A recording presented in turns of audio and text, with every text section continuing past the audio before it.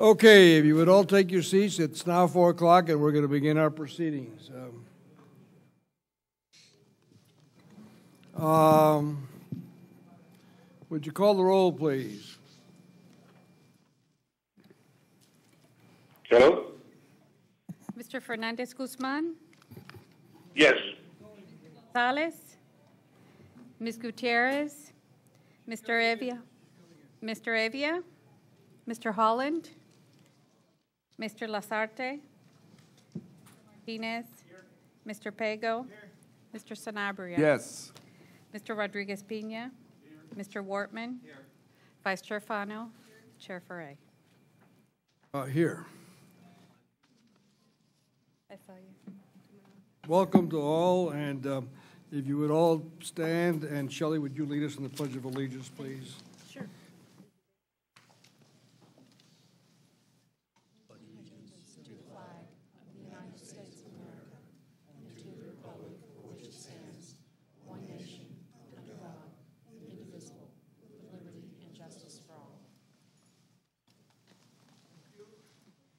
I'm the Vice Chair, and um, we've already done the roll call, so the um, declaration of voting Thank you. Mr. Chair. At this time, if any of the members have a voting conflict with any of the action items on the agenda, would you please note them for the record? None shown, Mr. Chair. All right. Now, the next portion of this is citizens' comments. Um, I know that we have a list here of citizens' comments, which amounts to 20, 20, 20, Oh, 23, because, yeah, one person dropped out. So um, Mr. Hank Sanchez Resnick dropped out, but there are 23 other that have asked to speak. Now, the rules of Miami-Dade County on citizens' comment policy, which was passed by former Chairman Felix Lasarte, who's not here today, um, uh, explains that there's no statutory rights that exist for citizens to participate in public meetings at MDX. However, we did adopt a, um, a policy which is in effect. The policy says that the remarks of each individual invited to address the board are limited to three minutes, and one speaker may not cede their time to another in order to extend the three minutes for a single speaker. The aggregate time allotted for public comment on any agenda shall not exceed 15 minutes. Now, um, it also says that um, chair, um, and I, I will, the chair will follow the order of the speakers as uh, they requested to speak, and they are. Uh, let, let me finish, and then I'll recognize you immediately. Thank you, sir. Yes, ma'am. Carlos Garcia, Jane Walker, Mitchell Rosenberg, and Sergio Herrera. Now, here's here's uh, here's what I'm going to do, out of fairness, and I see that the mayor of um, Donald is here. MacDougall, I'm sorry. Excuse me, Mayor. You did a good job uh, with Michael Putney, by the way. Uh, Mayor MacDougall is here, so I will, of course, recognize him. what I what I would like to recommend that we do is that we will hear the 15 minutes uh, as our rules say, and then we're going to get into the purpose of today, which is a series of actions. Um, and then I will ask, or if you want to do it now, I will ask uh, to extend the time so that everyone will be able to speak. But I would like to do that at the end of the action agenda. In other words, I will recognize five speakers and the mayor to speak before, and they can sum up the thrust of the discussion. Um, Then uh, I will recognize the rest of you, as it is noted on the list, to speak your three minutes, uh, but that will have to be after we conclude our um, regular agenda uh, and before the chairman's comments. Now, to do that, uh, I- that that will require an action by the board, which requires a two-thirds vote. First, you require Under a our rules. What? I would like to make a motion at the Okay. appropriate time. Okay. I, the chair now recognizes uh, you, Shelley. Thank you, sir. I would make, like to make a motion to extend the public comment to the time allotted by the chair, as he said, for the amount of people, three minutes per person, to follow after all the action items, which would be on the agenda of today, April 30th board meeting, which I believe would be E. 8E. Yes, ma'am. Second. There's been a motion and a second. Is there further discussion?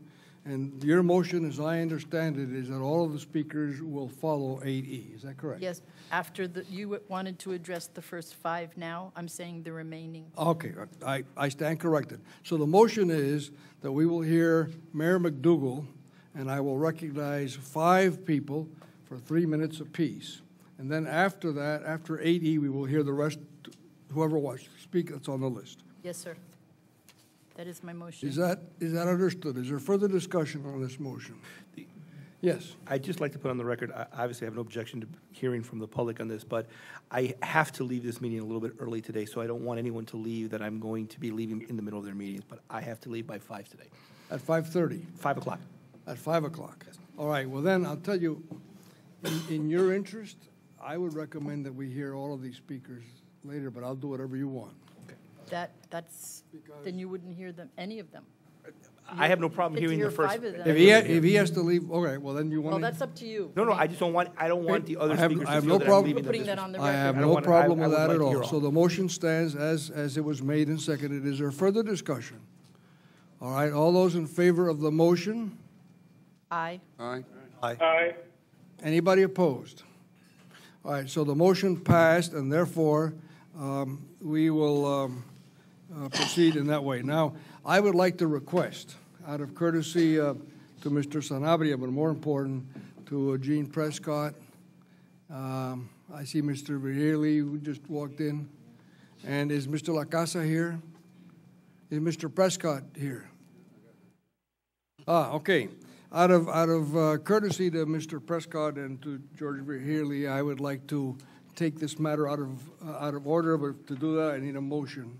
That, that um, item, would you tell me what item it is? 8A, 8A. That item 8A be t- taken out of order. So moved.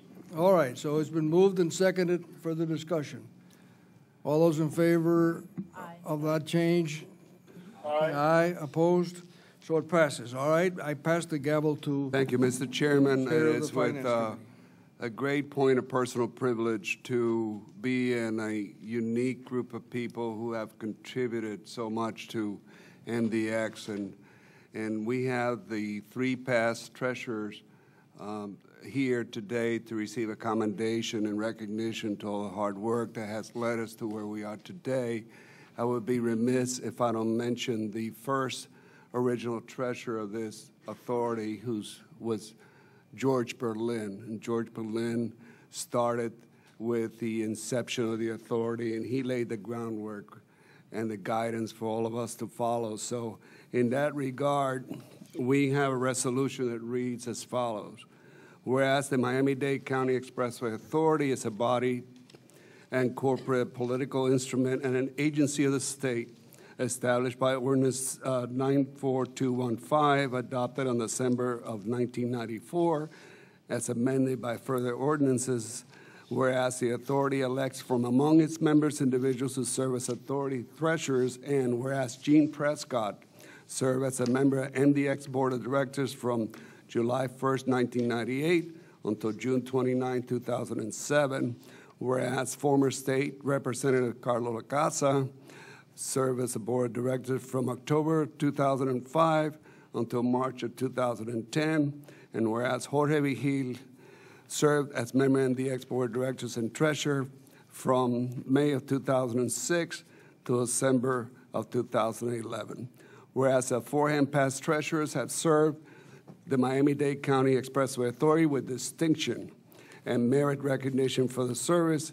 Now, therefore, be it resolved by Miami-Dade Expressway Authority that we are recognizing these past MDX treasurers as outstanding contributors to the MDX policies, guidance, and accomplishments. And I'm just reading shorthand because I don't want to read the whole thing. It's, but essentially, if all three gentlemen will come up to the front and we can give them their um, pigskin certificate recognition. And I would like to have a round of applause for people that have done so much for the authority and stuff.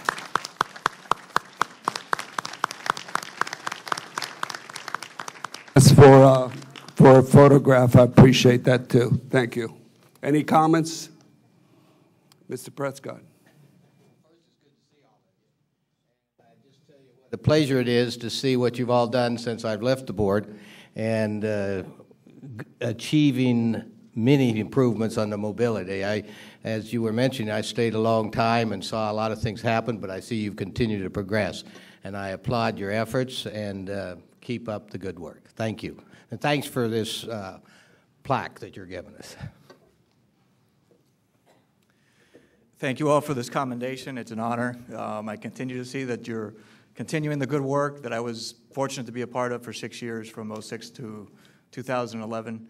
Uh, and I think there are great things ahead for this authority if we stay the course and, uh, and continue thinking about the public's interest and what's best for the long-term future of Miami-Dade County. Thank you. Would you join me for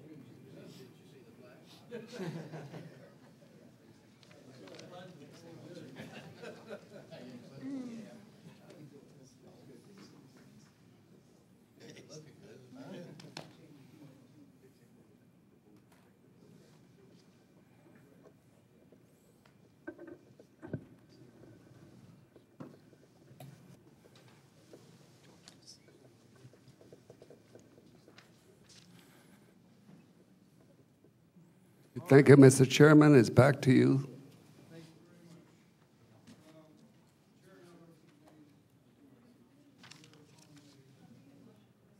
The, the mayor of Cutler Bay, uh, Mayor All right, MacDougall. what'd you say?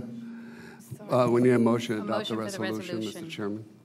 Oh, I'm sorry. Uh, There was a motion made by Mr. Sanabria, seconded by Mr. Wortman, uh, to recognize our three past treasurers. Further discussion on the motion. All those in favor say aye. Aye. Opposed? Thank you. We, Uh, Maria Luisa Mr. sent Mayor, in copy. the chair recognizes you. And as I said before, you did a good job with, with Michael Putney. Thank you, Mr. Chair. Appreciate, I really appreciate your kind words. You're Not running for something, are you? I beg your pardon? You're not running for office, are you? Actually, I am running for Oh, office. okay, I'm sorry. Go ahead. Has nothing to do with this issue, but uh, yeah, as of uh, last January. But uh, as the mayor of Cutler Bay, this issue that I'm going to bring before you, I'll keep very short, and to Mr. Chair and to your committee. I, the last meeting that I attended, I had understood that this item that was passed at your last regular meeting uh, would be reconsidered. Uh, And I think the chair had mentioned that because the vote was 7-6, that it was something that should be further discussed, if I recall correctly. uh, under, under the rules, and I'll leave these to, leave this to the attorneys, uh, I, I believe that time may have passed for reconsideration. I don't know if it's a reconsideration or a rescind. I don't know. Um, I, I just don't know, but I know that it did come from the chair that this would be uh, possibly discussed at a later time, which I'm hopeful may happen uh, today. My point in that is that simply not to repeat everything that I said at the last meeting, because each of you were present and um, tolerated my, uh, my couple of moments, is that I do personally feel that what we are doing is raising these tolls to an exorbitant amount, and we should take a little bit more time, a little bit more thoughtfulness in how we set this up. I'm hopeful that this committee will take the time to examine this a little bit closer and not turn Miami-Dade County into a area of just highways, roads, concrete, and asphalt. And to have a vision for the future for some sort of either light rail, mass transit, or put some monies aside so we can accomplish that mission as well. I think that we need a vision for the future, not just of automobiles and concrete and higher tolls, because it will never stop. It hasn't stopped in the 50 years I've been here. Uh, and, and I'm hopeful that uh, this committee will have a vision to try and at least give that further consideration. With that said, I will um, call it a day, and thank you, Mr. Chair, very much for the time you gave me. Thank you, Mayor MacDougall.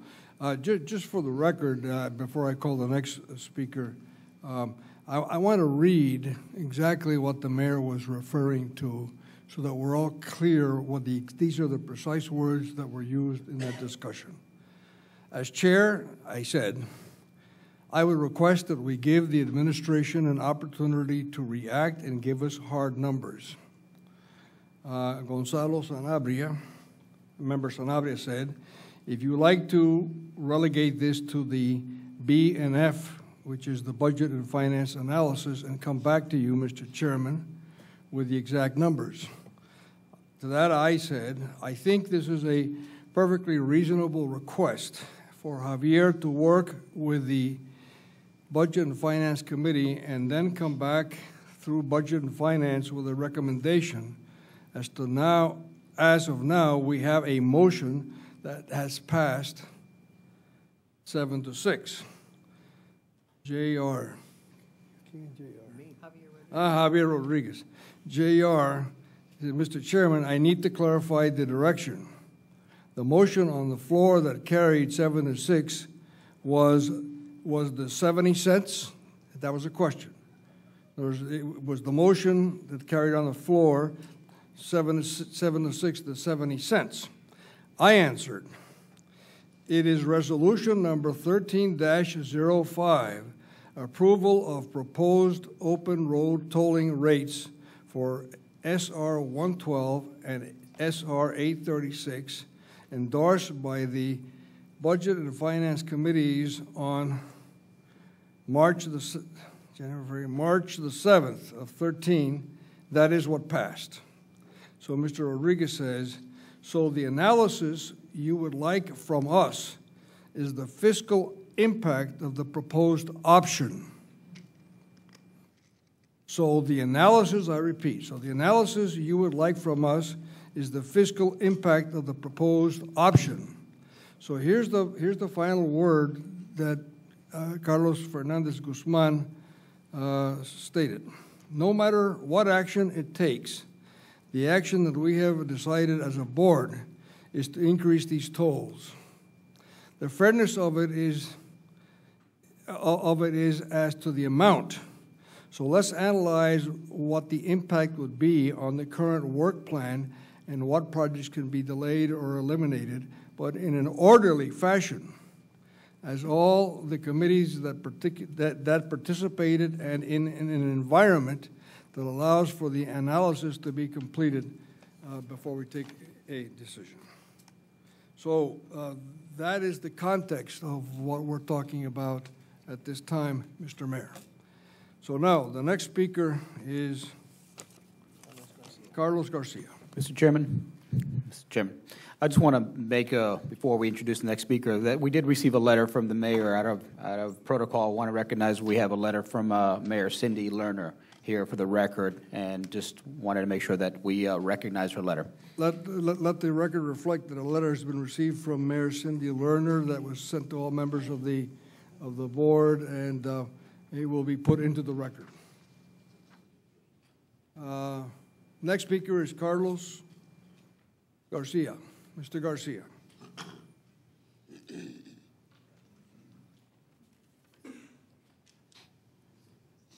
You have three minutes, sir.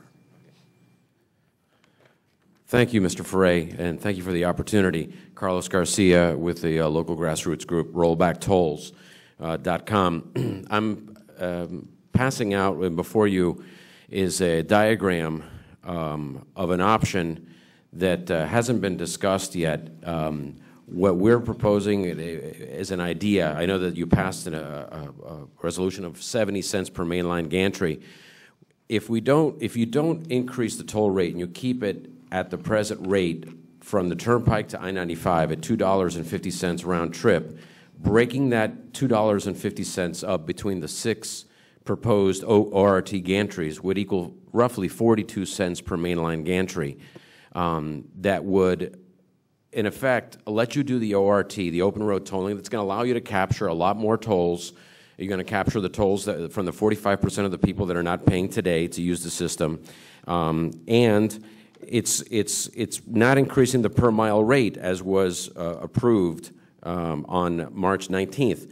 What we're, what we're uh, offering is to look at this. This, this option here of the 42 cents per mainline gantry is going to yield a lot of revenue. You, you did it on, on the Don Shula, on the, on the uh, Don Shula 874 in Kendall. You put ORT in, and you did not raise the per mile rate. And from what I've seen, because I take that road all the time, is it allowed you to do a lot of improvements. You had a lot of bondable uh, monies that uh, the ORT generated, and you you widened it, and you're now finishing the last leg of it between Kendall Drive and Bird Road. We're asking you to basically look at this option, and, and this seems like a reasonable, reasonable option to a lot of people that we presented this to. And um, what we're asking is that, you know, I know that some of you heard the community on the 19th. The community is still hurting. The community still doesn't have jobs. The community is losing their houses. The community right now possibly is being asked to help fund this Dolphins roof. A community is possibly being asked for a 1% sales tax increase to, to, uh, to help build infrastructure and fix the infrastructure. Everybody wants to lean on the community right now. And, you know, and, and, this is, it's, it's overly aggressive. We're asking for, for some reason. And, and I, and I want to, I want to thank Maritza Gutierrez, I, I, what she said in the Budget Finance Committee meeting made a lot of sense. The ORT component alone, when you knock down those cash collection plazas, is going to allow for an, a significant increase in throughput.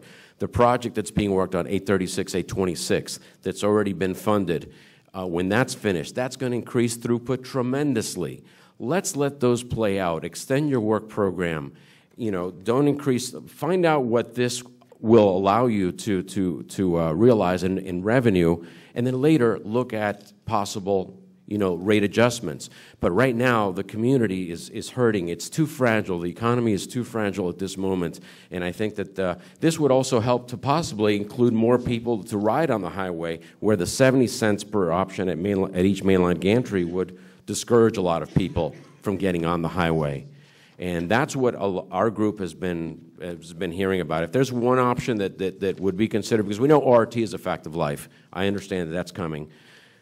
You know, it, it's a fact. We're not saying don't do RT, do our uh, ORT, but make it at the, at the fairer rate or find a way to distribute the cost of the, of the present cost today. Thank you very much for your time and consideration. Thank you, Mr. Garcia. Jane Walker.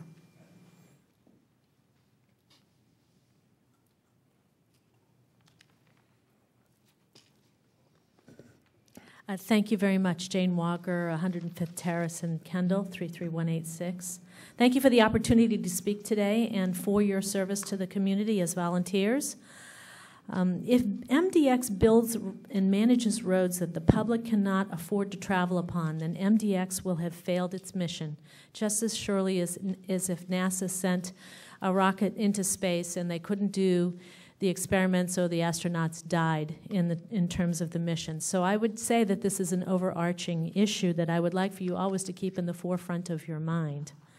I'm asking the board members to make a motion to rescind a vote of the 54% toll increase on 836, or to otherwise openly explore options with your parliamentarian today under Robert's rules for mitigating actions taken or not taken in the March 19th meeting and public hearing for the following reasons.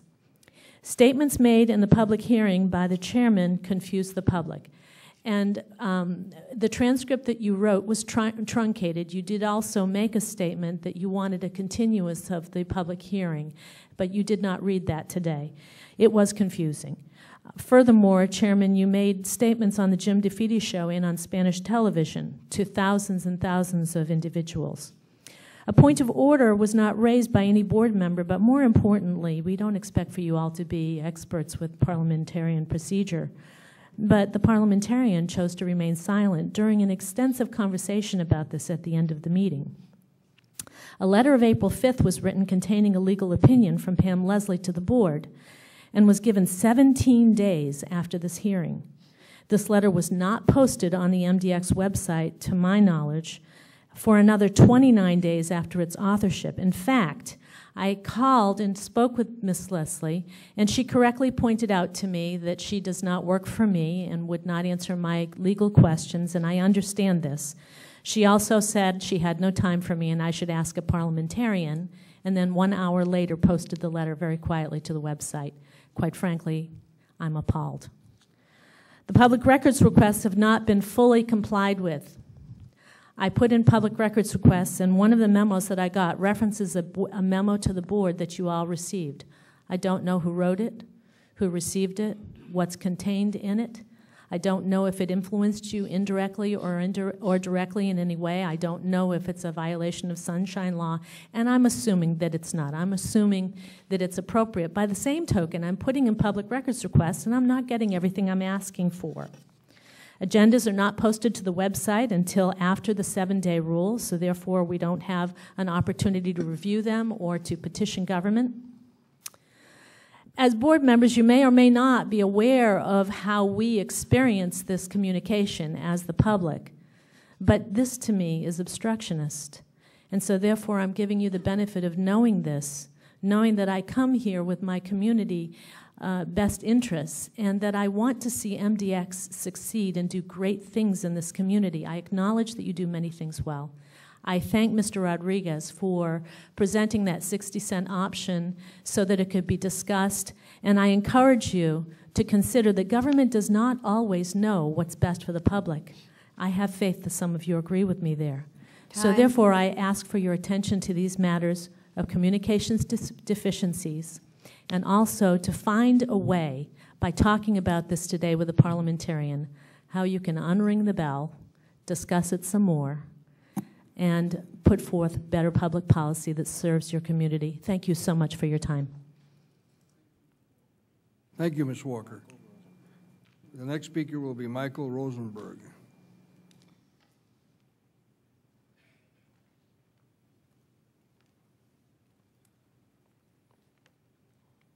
Hi, I'm uh, Michael Rosenberg, 13030 North Calusa Club Drive, Miami, Florida.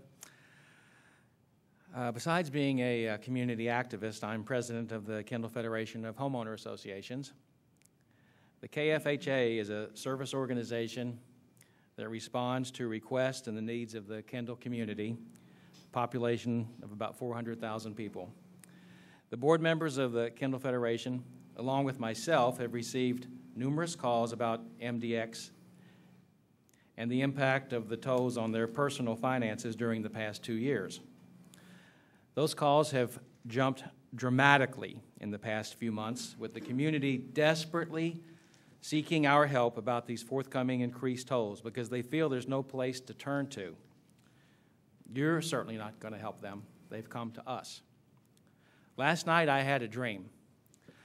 I suppose it was because I knew I was coming here to speak today.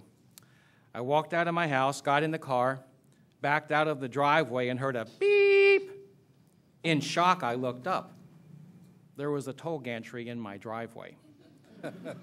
I looked up and down the street. Good. Every driveway had a gantry.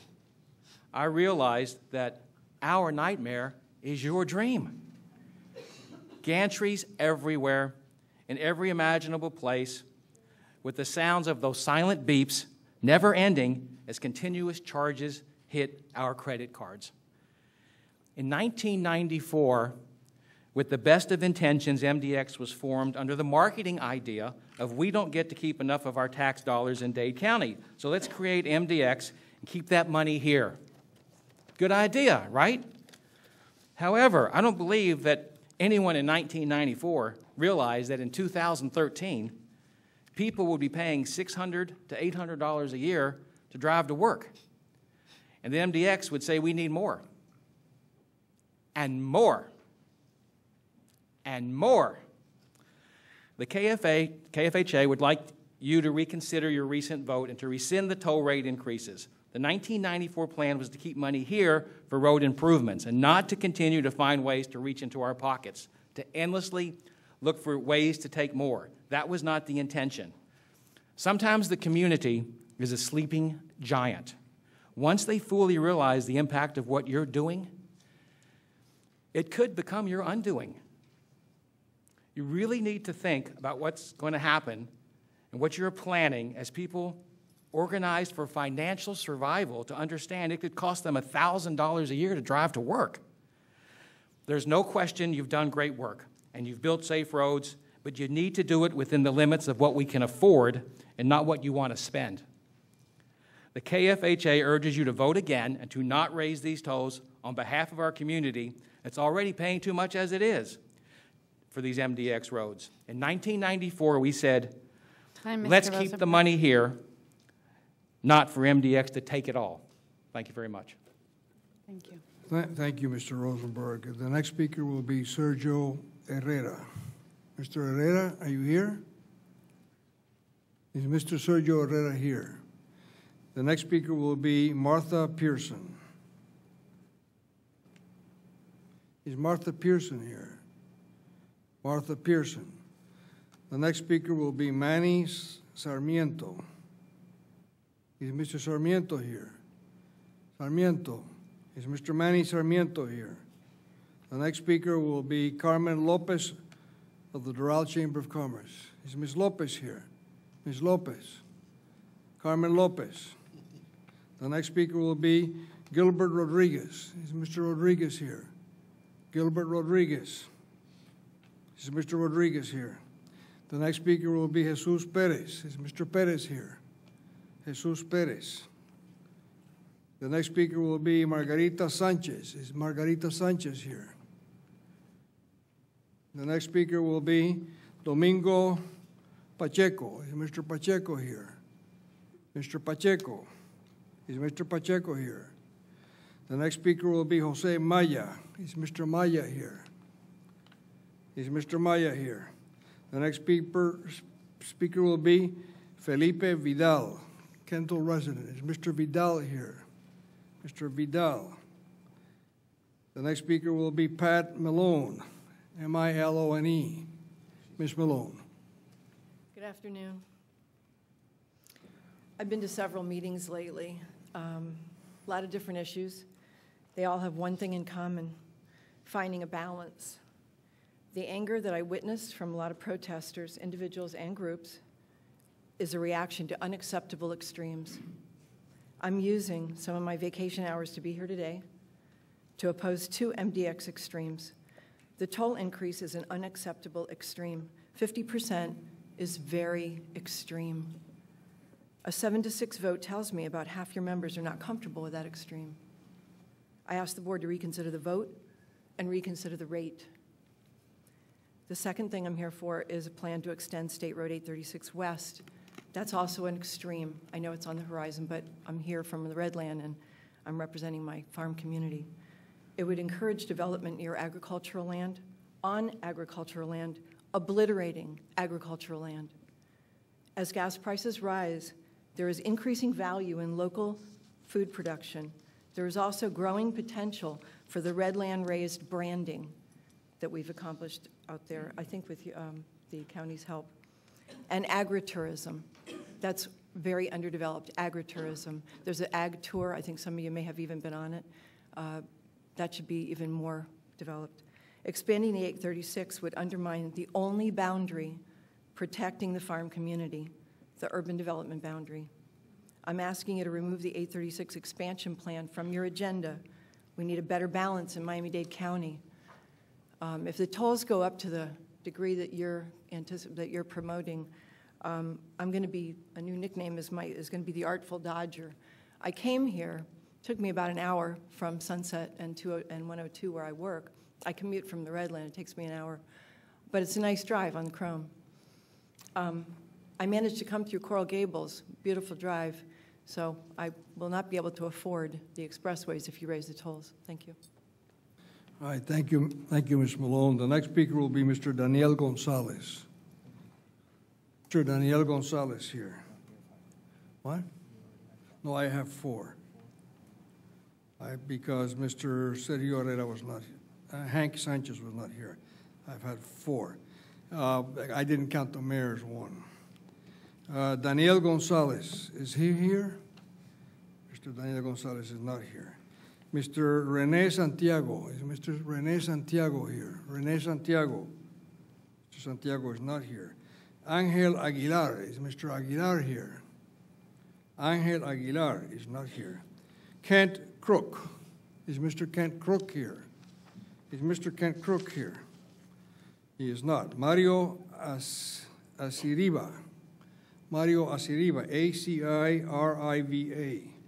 Mario Asiriba, he's not here. Tony Cueto, is Mr. Tony Cueto here? Tony Cueto, is Mr. Cueto here? The next speaker will be Gregory Beck. Is Mr. Gregory Beck here? Gregory Beck. Nope. The next speaker will be Miller Myers. Is Mr. Miller Myers? Mr. Myers, the chair recognizes you.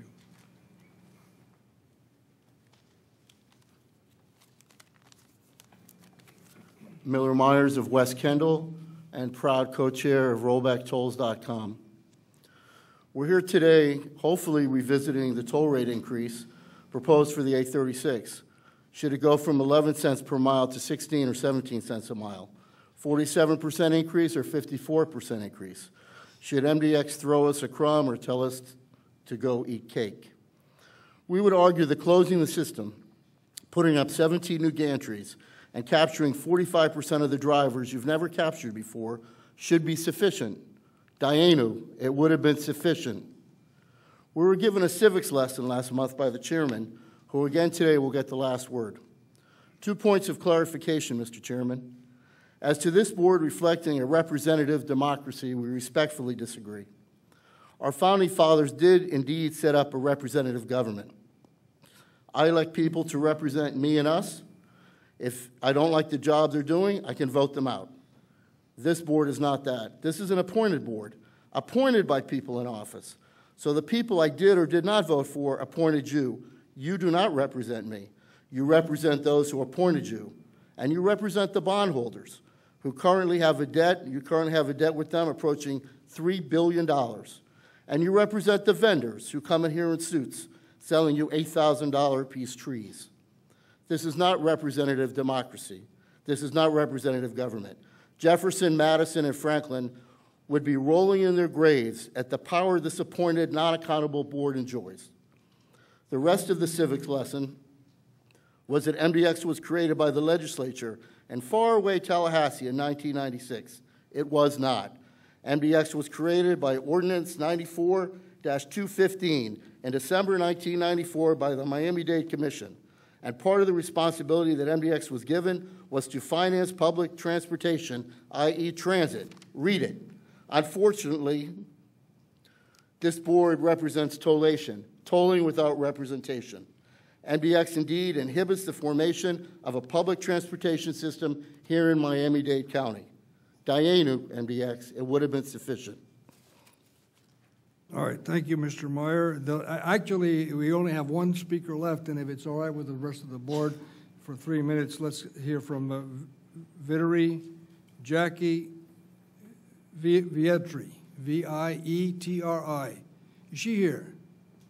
Is Jackie Vietri here? Now, that is the last speaker that I have on the list, so um, we have now concluded the, uh, the Mr. Chairman, if there's anybody else that wishes to speak, I, I would like to concede a couple minutes to whoever else is not. All right, Mr. Cody, please step forward. Chair recognizes. Would you, would you let her speak first? Yeah, let her, and uh, Steve, I'll leave you. Uh, Mariano, why don't you come up and I'll let you. Go ahead. Good afternoon, Mr. Chair and the rest of the commission. My, going there. Thank you. My name is Moraima Lugo Morales. Address you said?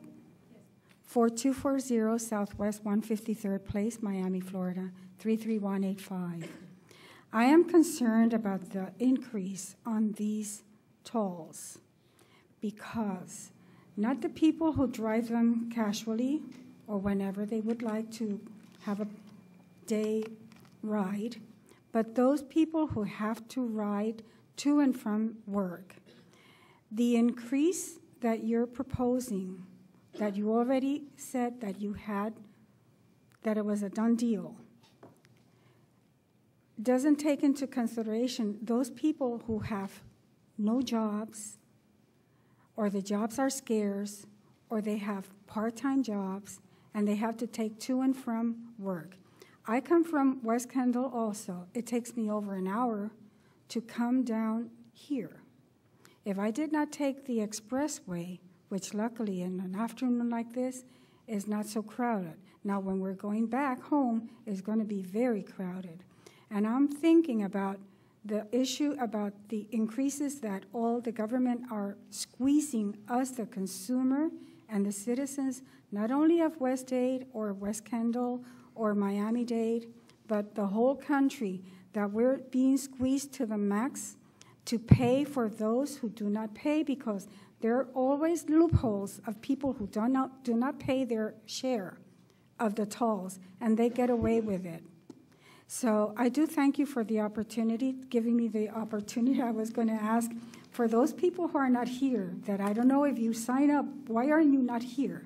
I'm here and I didn't sign up, but I thank you again Yes. for the opportunity. All right, Have a nice you. afternoon. Thank you. Please reconsider. Thank you, ma'am.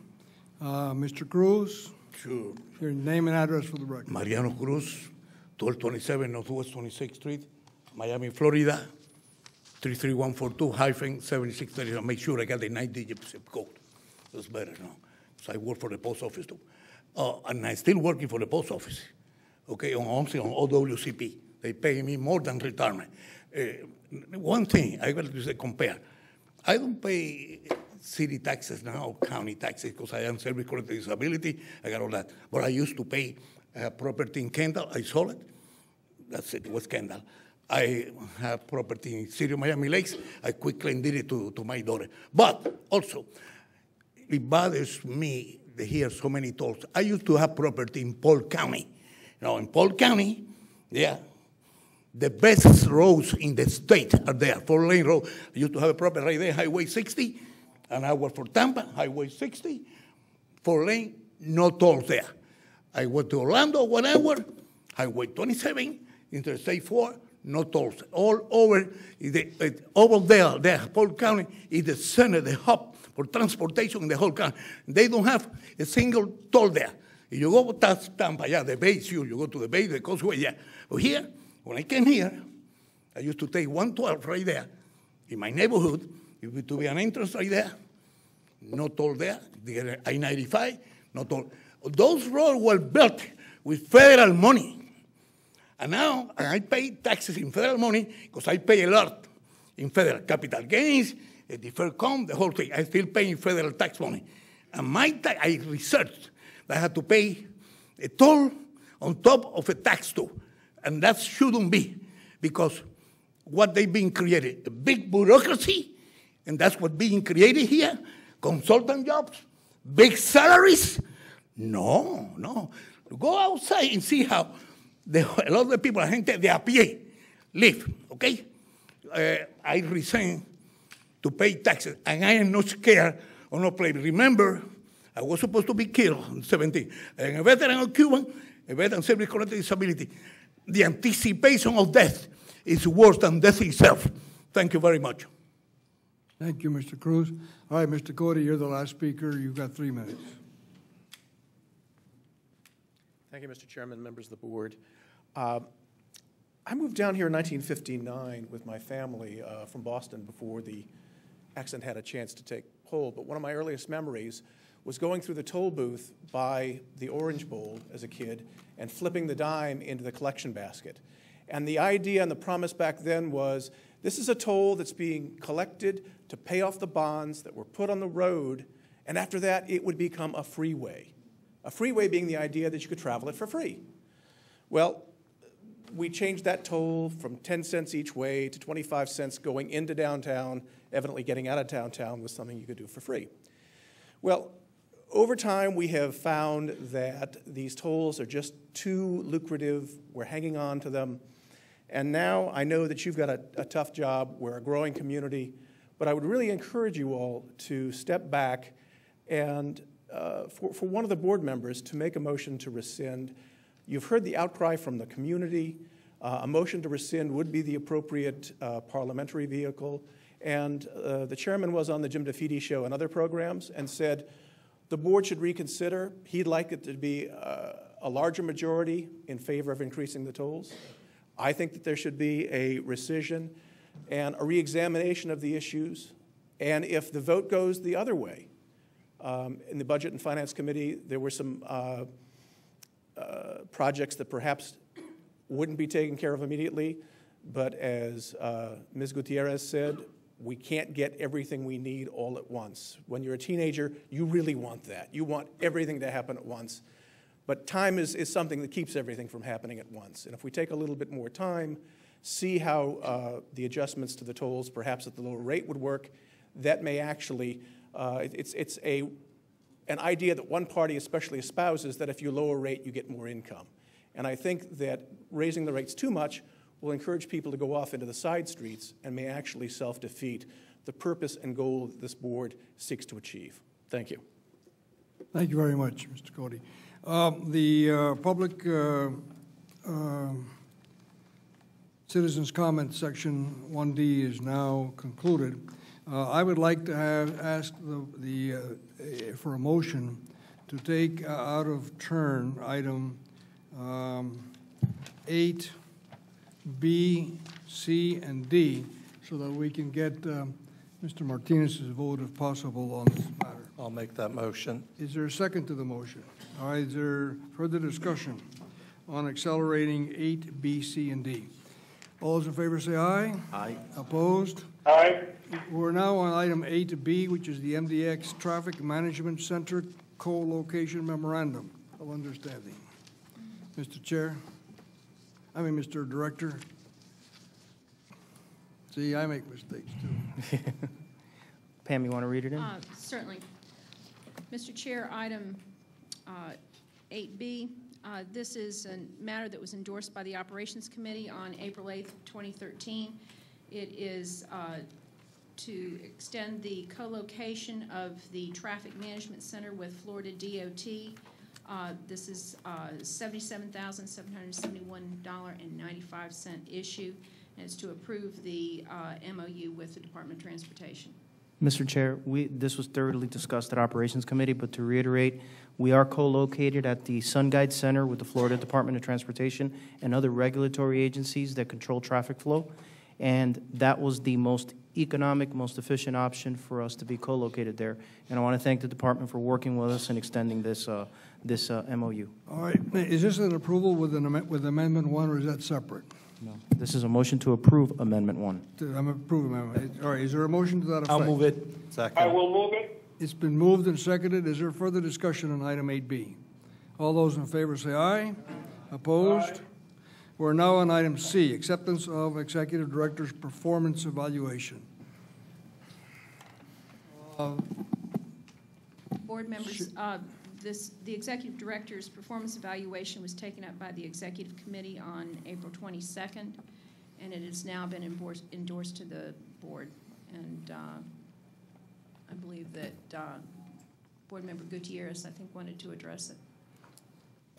Yeah. You're thank you. recognized, Ms. Gutierrez. Uh, Yes, thank you.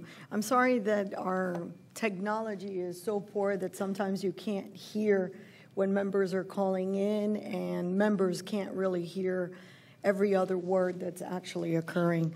Um, During that discussion at the executive committee, I pointed out the importance of his current contract and how we address his future contract and the analysis that we've all decided that we need to do. I, think the two things should be divided. They are separate from each other, his current contract, and if he receives 100% in the evaluation, he should be given a merit increase.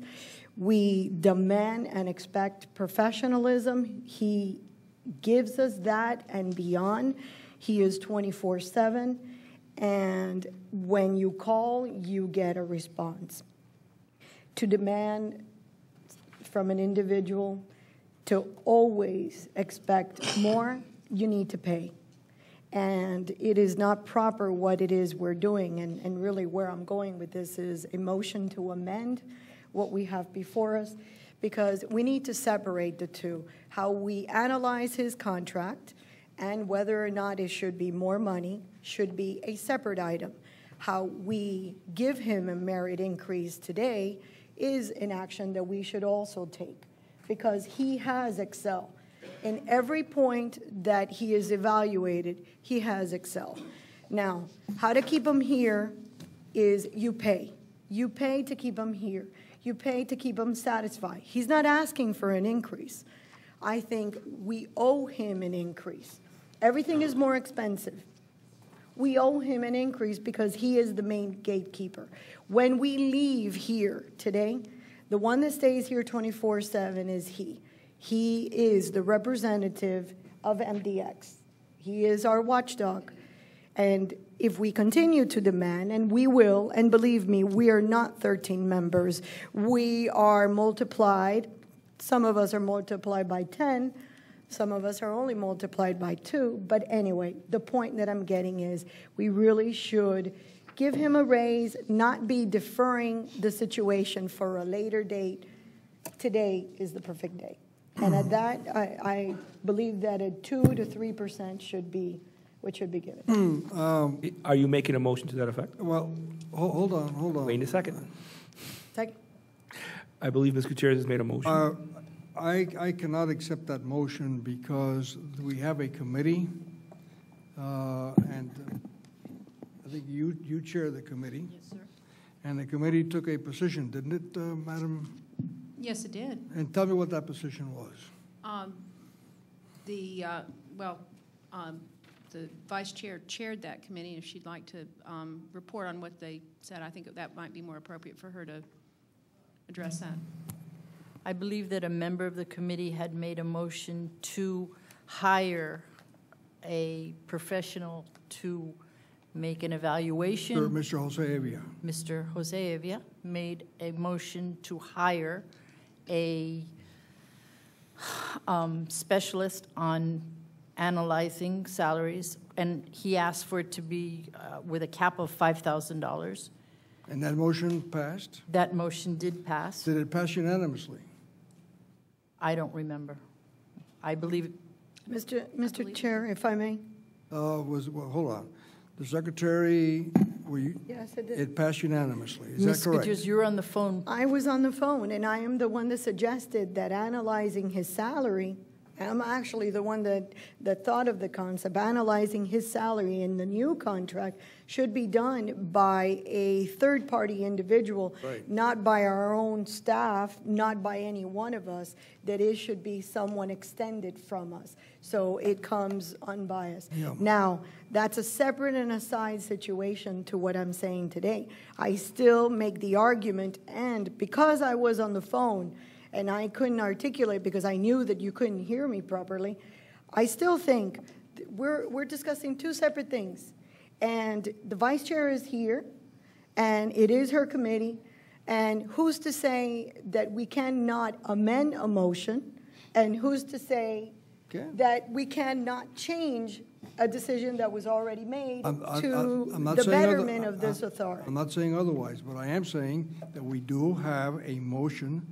This is the same problem we had last, at the last meeting. This, there is a motion from a committee. And the motion was No. passed unanimously. To make an analysis. No, the, the, the motion was to reject the three percent increase and to, in turn, send it to a third-party member to analyze, and the HR director said a thousand dollars, and Mr. Evia came back and he said, that's absurd. It, we, we, I, I do this on a daily basis. We should not be giving an arbitrary three percent, uh, uh, this way. It has to be done in a, in a, in a professional way. The only way to do it professionally is to have an outside source. And, and that, that was the motion that was passed. If Now, uh, please, please tell me, uh, I stand corrected. When I may Mr. speak, Chairman, sir. when, when, when I, when you have a chance, I'd like to speak on it, please, sir. And, Mr. Chair, if, if you're looking for some guidance, uh, you do have a matter endorsed from a committee, but any member of, of the board can make an alternative motion. And, uh, I, you know, I Well, guess at well, this well- point, if you ask for a motion to accept the committee's endorsement, you would need to have that motion in a second. All right, but, but I, I, I just want to make sure that I'm following, you know, apples and apples. Yes, sir. Because the last time we had this discussion, you, you know, I was told that I had to take the, as I understood it, that we had to take the committee motion first. Uh, Mr. Chairman, if I may for a minute. No, no, please. no, no, just let her answer, and then I'll recognize you if you want to say something Um, different. At, at the beginning of, of the last committee, uh, board meeting, uh, you did announce that for that particular board meeting, that you were going to take what came out of the committee. You're, I stand corrected. Yes. Thank you. All right, Mr. Sanabria. Thank you, Mr. Chairman. I, I, I propose at the executive committee meeting a 3% increase, and, and I overheard in bits and pieces Ms. Gutierrez also endorsing it. That did not prevail, but it wasn't like an overwhelming vote against, as, as I remember. But I just, just, just to tell you how somewhat illogical this is, where a 3% increase to Mr. Rodriguez's salary is possibly $7,500. But then the, the uh, board, the, the committee adopted to spend 5,000 to find out what to give him. So it doesn't make sense that we're doing that. I think, I think it's a counterproductive motion, that, and I, you know, I voted for it to keep unanimity, but quite frankly, at quite committee. frankly, quite frankly, if Ms. Gutierrez wants to make a motion for 3%, I would be happy to second that, sir, for consideration. Now, now let me ask you before, I, I will accept her motion in a moment, but let me ask you, since uh, you have the floor, uh, Mr. Sanabria, you were at that meeting. You didn't say a word at that, at that point, and you voted with this. No, sir, I So- did, I, no, no, I sure did, I sure did speak about the 3%, I sure made a motion. Are, I are mean, you, that- are you, are you then in favor of unraveling what was done at the? uh, at I the- am absolutely in favor of, uh, when, when you're spending 5,000 to find out we should pay somebody versus 7,500 for somebody who's doing a- an incredible job, uh, it doesn't make any sense to me. And it- I think it creates uh, an atmosphere of a- a storm, sort of, like, it's not, it's not a positive atmosphere. And I, and I reject that. So if you want to make a motion, I'd be happy to second it. I have made the motion, made the motion to give him an increase of 3%. I second that motion. This is a motion, Per contract, per contract. The contract allows it. this is a motion to, to uh, give the executive director a three percent Yes, sir. increase per the contract. Is that correct? Yes, sir. Yes. All right. um, Is there any further discussion? Okay, uh, call the roll on this. Mr. Fernandez Guzman? Yes. Mr. Gonzalez? Yes. Ms. Gutierrez? Yes. Mr. Holland? Mr. Martinez? Yes. Mr. Pego? Mr. Rodriguez Pina? Yes. Mr. Sanabria? Yes. Mr. Wortman? Vice Chair Fano? Yes. Chair Ferré?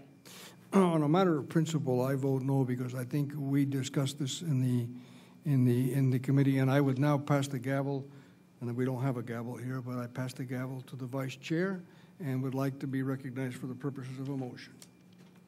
But, so, but the Oh, motion, let's pa- say- the motion is passed. Position of this motion, The Madam motion, the- Counsel? the, the motion is that we We follow. already did it, we voted on it, sir. No, ma'am, no, ma'am. This Yes, has we noth- did. has nothing to do with that. I But- vote, I no, no, voted But sir, no. we were in the middle of doing a voting of a motion and it passed. Now, if you Uh, wanted. Mr. Chair, if we could maybe have the executive secretary read what the, the results of the vote were, and then you can move on.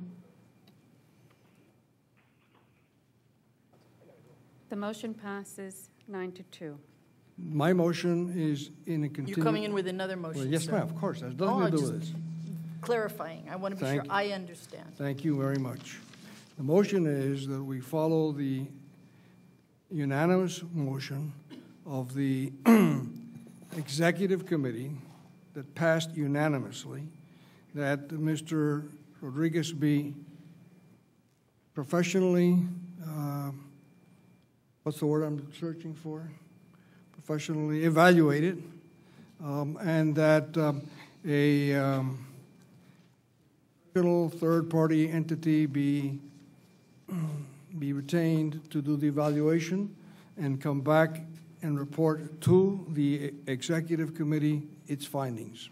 Point of clarification. For, for, for next year. This For is the- your motion? That is the motion. Is there a second for discussion? If I may Point of say something. clarification, Well, we then- have Point of, or- discussion. point of order. Make a point? We, we, May- may I I just want to make a point. motion, We already Whoa, whoa, did. one second, because I'm, I'm in control now. One person speaks at a time. We have a motion. I need a second for I'll, se- discussion. I'll second uh, that. Of discussion, I have a second for Mr. Wortman. Ms. Gutierrez. There is no need for a new motion in order to do that, because all I did was amend the motion with an increase.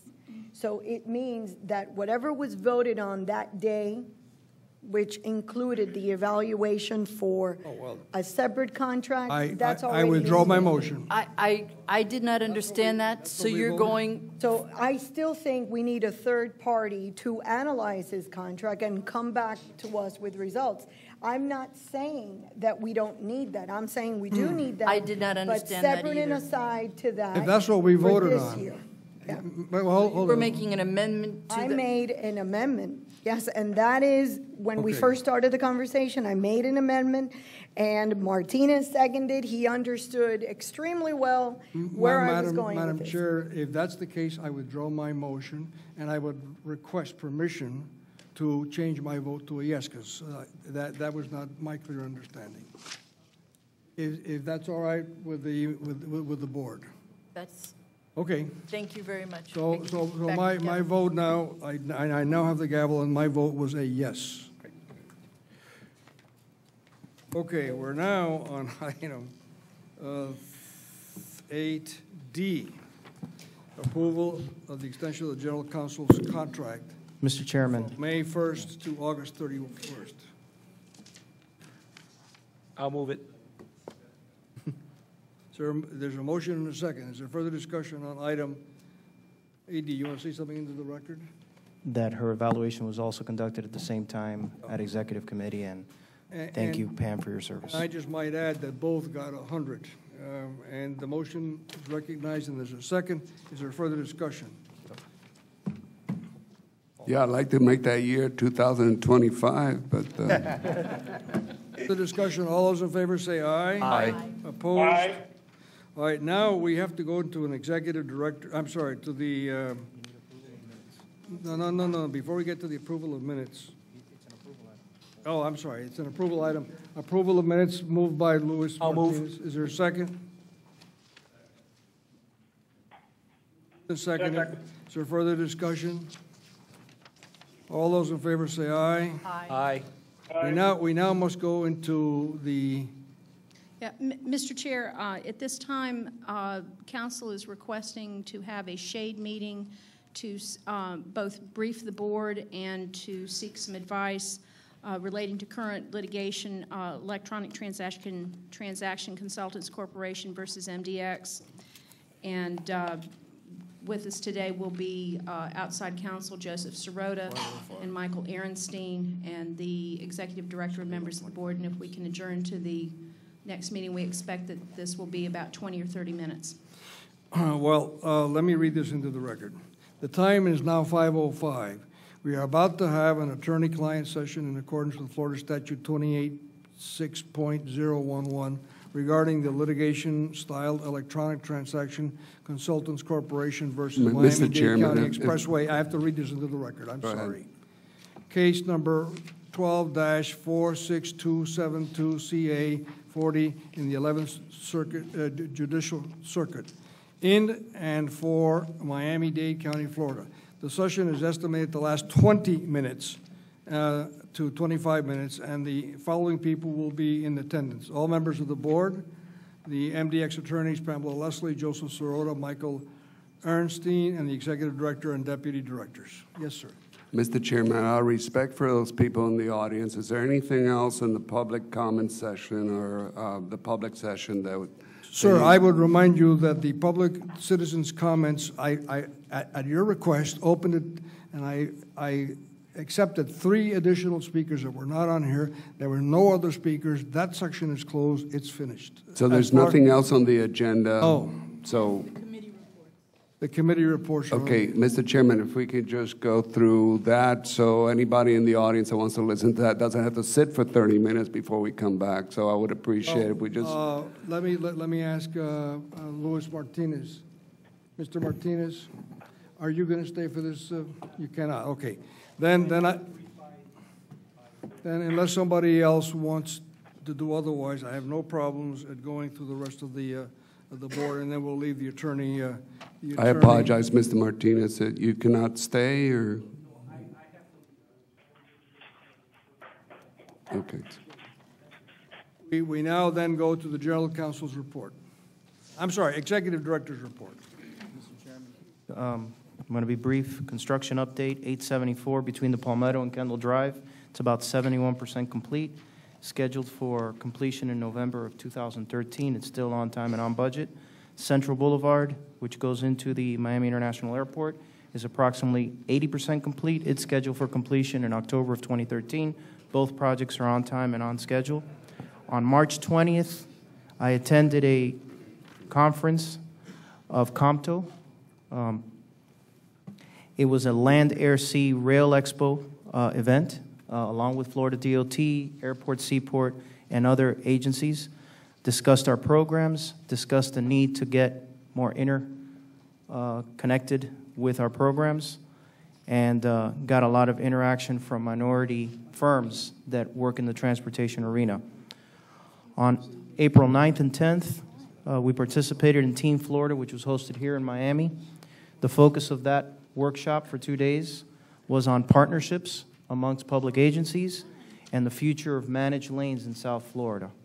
Uh, I thank the board members that attended uh, for the first time, and I encourage other board members to attend when these types of conferences are, are close to home. On April 14th, 16th, Chairman Ferré, Board Member Rick Rodriguez Pena, and I attended the Mileage-Based User Fee and Financial Summit of the IBTT, or International Bridge Tunnel and Turnpike Association. A lot of what's been discussed today, as far as funding for transportation, was discussed. It is well known that the gasoline, the federal gasoline tax has not been increased since 1993, and its buying power is diminished because of the more efficiency of vehicle of, of cars. There's a lot of discussion around the country in different DOTs and at the federal level of what would supplant the federal gas tax. And one of those conversations is a mileage-based user fee. The conference centered along a lot of, of the uh, analysis that has been done for that. So it was very interesting. A lot of the issues with finance, you heard it at Budget and Finance today. It's a very good market right now, very low interest rates, and we took advantage of that. The other update I wanted to give the board uh, is on the, on the centralized customer service center, which is the four toll agencies in Florida, including Lee County, are partnering to have one centralized customer service center for tolling in Florida, one-stop shop, one invoice, one phone call, one phone number to call. I just drove from Miami to Tampa, and I went through different, three different facilities that are managed by three different agencies.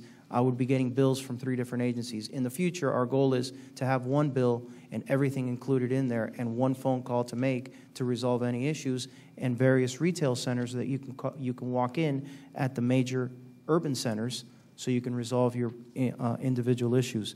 On April 25th, we, uh, we participated in an industry forum And this was held in anticipation of a release of a request for proposals that'll be in August of this year. The schedule is to have a consolidated or a centralized customer service center operational by 2015. And staff is working with the other staffs of the other agencies in cooperation with the Transportation Commission to make that happen. My final reminder is that on May 16th, 2013, at the Shula Hotel in Miami Lakes between 12 and 5 p.m. is our 10th annual Small Business Conference. I encourage anybody who's never attended a small business conference to sign. Fair. Can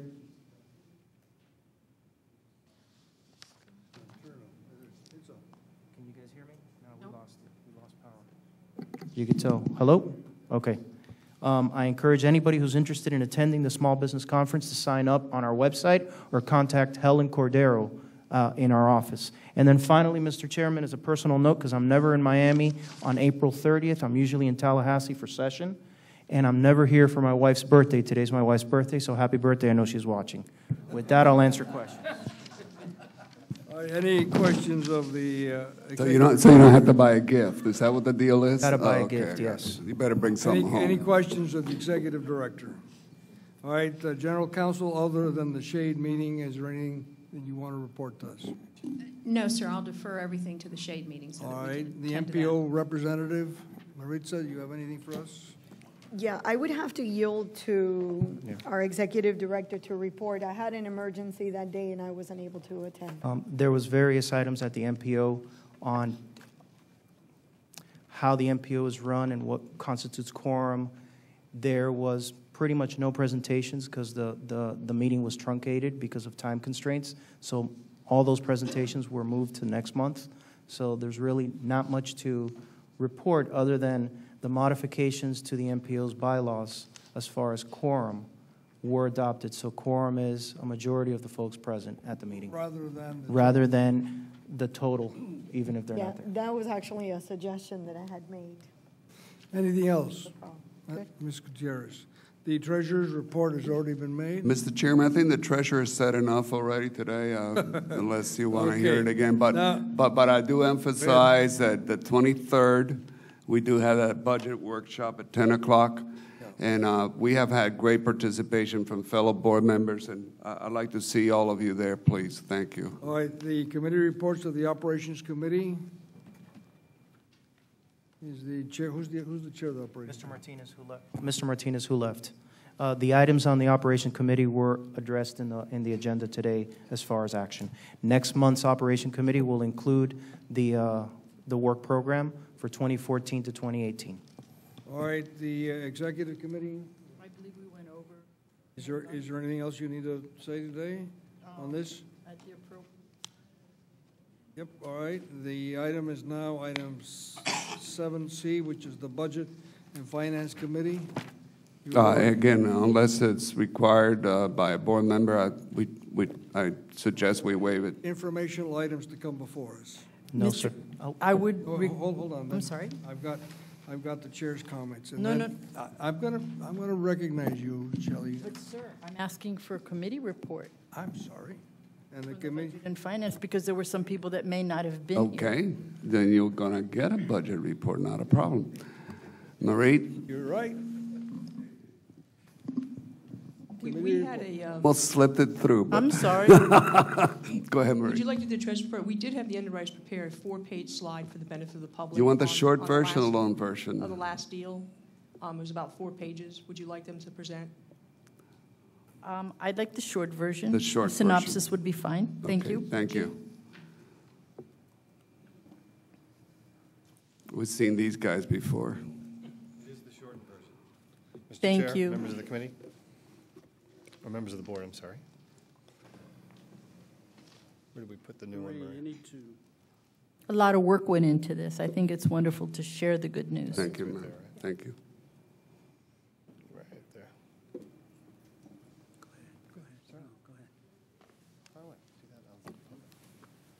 Uh, As we um, presented earlier to the Budget and Finance Committee, we summarize on the form or the sheet in front of you, Identify yourself, please.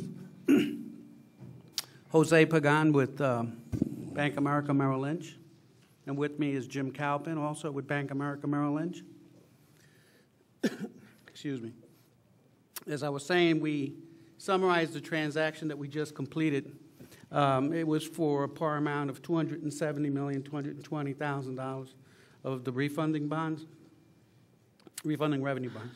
Uh, The purpose of the issue was to refund and restructure for savings and cash flow certain outstanding bonds. We, the resultant transaction um, had $28.8 million in present value savings, or 9.7%. The interest cost was 3.568%, and the purpose really was to um, decrease the existing debt service between the years 2013 and 2016, and we reduced that by $33.3 million. Uh, I think, well, we know and we explained that we had this net uh, roadshow presentation for institutions and um, any individuals that wanted to hear about the operations of MDX so that they would get familiar with the credit, hopefully with the intentions that they would submit um, to buy the bonds when they were put to sale. Um, we had solid retail investor participation, institutional pricing was uh, very, very strong. Effectively, it was oversubscribed, and um, there was 41 different institutional investors that participated in the sale. The total oversubscription was 1.1 million billion dollars for the 270 million dollars of bonds. Thank you. There's, there's yeah, as- three more pages. As mentioned, Jim Calpin from Bank of America Merrill Lynch. Uh, Just again, in the abbreviated version, as Jose mentioned, uh, we wanted, one of the goals was to diversify uh, and and augment the institutional participation in the authority's bonds. And one way we were able to do that is to uh, use the electronic platform of a net roadshow. Um, Staff, uh, senior staff and advisors presented a live presentation to the institutional market of approximately a 30, 40-minute presentation, essentially much of the material that was covered in the preliminary offering document. Uh, And you can see on the right, uh, in terms of the, the institutional investors that access the roadshow, uh, over 20 different institutions. You'll see later that, uh, as mentioned earlier, over 41 institutions participated in putting in orders for the bonds totaling in excess of uh, $900 million, or 1.1 billion overall. Um, This page really summarizes some of the, the successes we talked to, in, in addition to the institutional marketplace, uh, we're looking again to capitalize on retail investors, um, local regional retail investors, uh, in-state regional investors, uh, I'm sorry, um, retail investors, uh, national retail investors, and then finally professional retail. We uh, strategically offer, we did not offer the entire transaction to retail investors. Uh, Retails, retail investors typically buy at the front end of the curve the, the first 10 years. We offered approximately 160 million of the 270 million to, re, or to the retail market uh, and received um, in excess of 104 million in orders from the retail community, uh, 12 and a half of which we deem to be you know, the mom and pop there's a growing trend of, of retail investors being um, serviced by professional retail. Those are uh, professional money managers.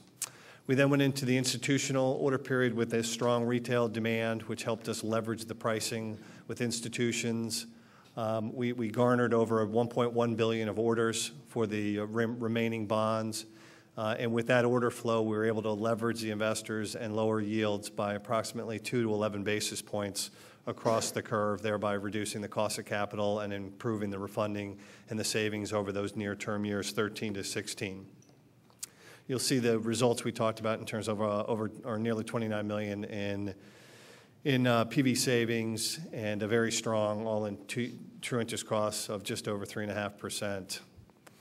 Uh, You'll see the order flow by uh, priority in terms of the institutions, the retail, and then the underwriting syndicate. And then on the bottom right, some of the results of, uh, of the takedown across the syndicate in line and, and meeting with the, the goals and expectations of, of the board in terms of participation of the various syndicate members. Uh, This chart on the left shows the dotted line are the, the amount of maturities or the amount of bonds that were offered in each year. Uh, And, and really what you see is the green and yellow bars show the amount of orders for each maturity, which far outweighed, you know, it was across, across the entire uh, spectrum of maturities in terms of the, the demand from the institutional and the retail side. And then you'll see the resultant uh, yields on the right, ranging from under a half a percent in the early years to even on the longest end in 2033, a yield or borrowing cost of uh, just over 3.7%. And you can see on the far right, given the demand on the transaction, we were able to lower the cost of capital across the various maturities by 2 to 11 basis points. And then in uh, final chart here is a list of the institutional investors. This was, you know, as we said, the goal was to diversify this mix, mix, broaden the mix, and you see we had over 41 institutional investors participate in the order flow. The yellow indicate the new investors, the incremental or additive investors that uh, came to the table for this bond sale, which really uh, bodes well for the, the authority in, into the future and into future bond sales, because now you have a much wider audience that has, uh, has the attention of the market. So congratulations, and uh, on behalf of Jose and our team, we want to thank you for the opportunity. Well, thank you for such the hard work. Appreciate that. Thank you. All right, Mr. Chairman of the. Any other questions for uh, Mr. Holland? Well, just for the benefit of the public, because I know this sounded somewhat technical. Technically, what you had was a mortgage refinance where you saved about $33 million or $28 million to try to bring the cost of uh, your loans down. So as good stewards of the money, we're trying to always find ways to save money in the process. So that's what the, the short version of that would have been. We, we also had a feeding frenzy because of the quality of the, of the market in our financial stature. So that's, uh, that was, that's a pretty amazing uh, feat nowadays, so. I thank you. appreciate the opportunity to share it with our colleagues that were not here before Yes. because I think it's a big achievement. Thank you. If I may, I have another Please. information. Um, I'd like to say that I do appreciate the public coming out, and because of the public discourse, it suggests that it is advisable to further consider the level of the ORT toll rates. So at this time, I'd like to make a motion to send out for public review for a new toll rate of 60 cents on all mainline gantries on the State Road 836 to be brought back to us, the board, at the May 28th meeting. And a resolution be created that will go out with the May board package. Time is of the essence. This is my motion. The motion is that this be put on the May 28th agenda? Prior to the May 28th agenda, preceding policy per our bylaws to go out for public review. All right, um, Second for purposes of well, discussion. there's a second for the purpose of discussion. Uh, Excuse me, uh, Board Member Wortman. Um, Ms. Leslie, um, as I understand the procedures here, is that um, the motion is that we go through the process, um, which would require advertising, and there's a 20-day process. and Explain exactly what, what the thrust of this motion will be. Mr. Chair, uh, the Expressway Authority has a public involvement policy that requires, uh, prior to any modification of toll rates, that the matter go out to the public with at least one public review. Um, And then prior to vote, there would have to be a public hearing, and then a vote of the board on a resolution to modify the toll rates. So as the motion was made, I cannot accept that motion as it was made. Uh, No, I think the motion was perfectly fine. Okay, so the motion is that we are going to hear this, and we're going to have a public hearing before the 28th? No, sir. I believe that Vice Chair uh, Smith-Fano said that she would like to have the 60 cent option on State Road 836 mainline go out for public review. And that that process be completed in order for it to come back before the board at its May board meeting. And so therefore, we have to do that before the May board meeting? Yes, sir, the public involvement policy requires at least one public review meeting to be held. Uh-huh. There are certain advertising requirements for that public review that at least 10 days prior to the public review and no more than seven days before, that the second notice of that would be published in a publication of general circulation. Prior to that uh, second notice, there would have to be one also in a publication Okay. of general circulation. So there are two notices that are required. There would be two notices, one for 10 days and the other one for seven, No, is one- that? one, one would be prior to the 10 days out, and then the second notice is the one that has the time frame constraint. Okay. The second notice must be made no more than 10 days before the public review and no less than seven days before. The public review would, our board meeting is May, what, 28th? Yes, sir. So we have enough time to to accomplish all of this before May Uh, 28th? That's something that I think people that handle public involvement could answer better than I could. I don't know what the logistics. Mr. Chairman, does, Uh, does it uh, have to Hold it, go? hold it, hold it, hold it, because, because he has the, he has the next Wortman and then you, but, but, but, but I'm, I'm still trying to, I'm in the question period, trying to understand what the, so the motion is in order, it's been seconded, uh, under discussion now, is that correct? Is Uh, there- I believe that the, if I have been able to state the motion in, in your place, Mr. Chair, that it is on the floor for discussion. Yeah, okay, so, so, Mr. Wortman, you're first and you're second. Okay, uh, you asked most of my question. I have a, con- have a continuing part. Um, If this, we get the information back on May 28th, does that mean we're able to vote on, the- on it? Or does that continue the process for a certain period of time? Uh, Help me on this, I'm not sure I understand what you mean by getting Okay. information back.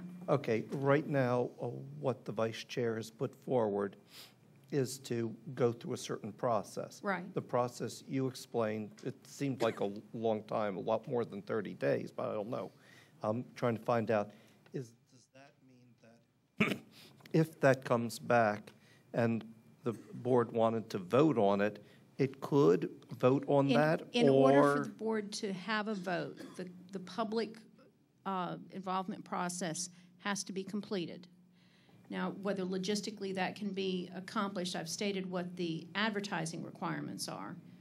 And if staff is able to locate a place and do the advertisement, and it depends on the number of public reviews, we're required by policy to do a minimum of one. The executive director, under the policy, at his discretion determines what the appropriate number of public reviews are. If the board wants to give him some guidance on what you think would be the appropriate number of public reviews, that probably will drive how long it would take to accomplish all of those. But the policy requires a minimum of one public review. There must be two advertisements of that public review. There's nothing in the policy that says how long before the first notice of that public review must occur, but the second notice can be no more than nor less than, no more than 10 days and no less than seven days prior to the public review. After that, there must be, according to the toll policy uh, and the bylaws, there must be a public hearing on any toll modification. And that can occur in, as we did on May 19th, prior to the board meeting or as part of the board meeting. March 19th. I'm sorry, March 19th, excuse me. Mr. Chairman, I just want to know, the Budget and Finance is not involved in the process, right? Or Uh, it is? The, the bylaws require hold, the hold, budget. hold, hold it, hold it. I'm sorry. Are you finished? Um, I was trying to ask uh, the vice chair, you were planning on having this back for a vote on May, tw- uh, May 28th? Or depending, I'd also like to hear from the other members of staff if it is physically feasible. Theoretically, it is, but is it physically feasible or is this going to happen in June or July? Uh, I don't have the answers to that, so. If you're asking me the I'm asking question. you first, if was it that is your indeed goal? Physically feasible, yes, I would like it to come before the board on May 28th. That is my idea. And then my question to staff who would be handling this, okay, is that physically feasible, not just theoretically feasible? Iden- Identify, Terry.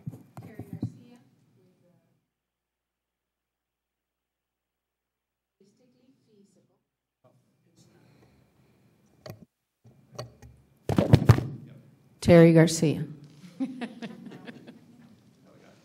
It would be logistically feasible, but you would have to take into consideration that um, there could probably be one meeting um, And uh, the advertisement, you know, we would have to do the required one, obviously.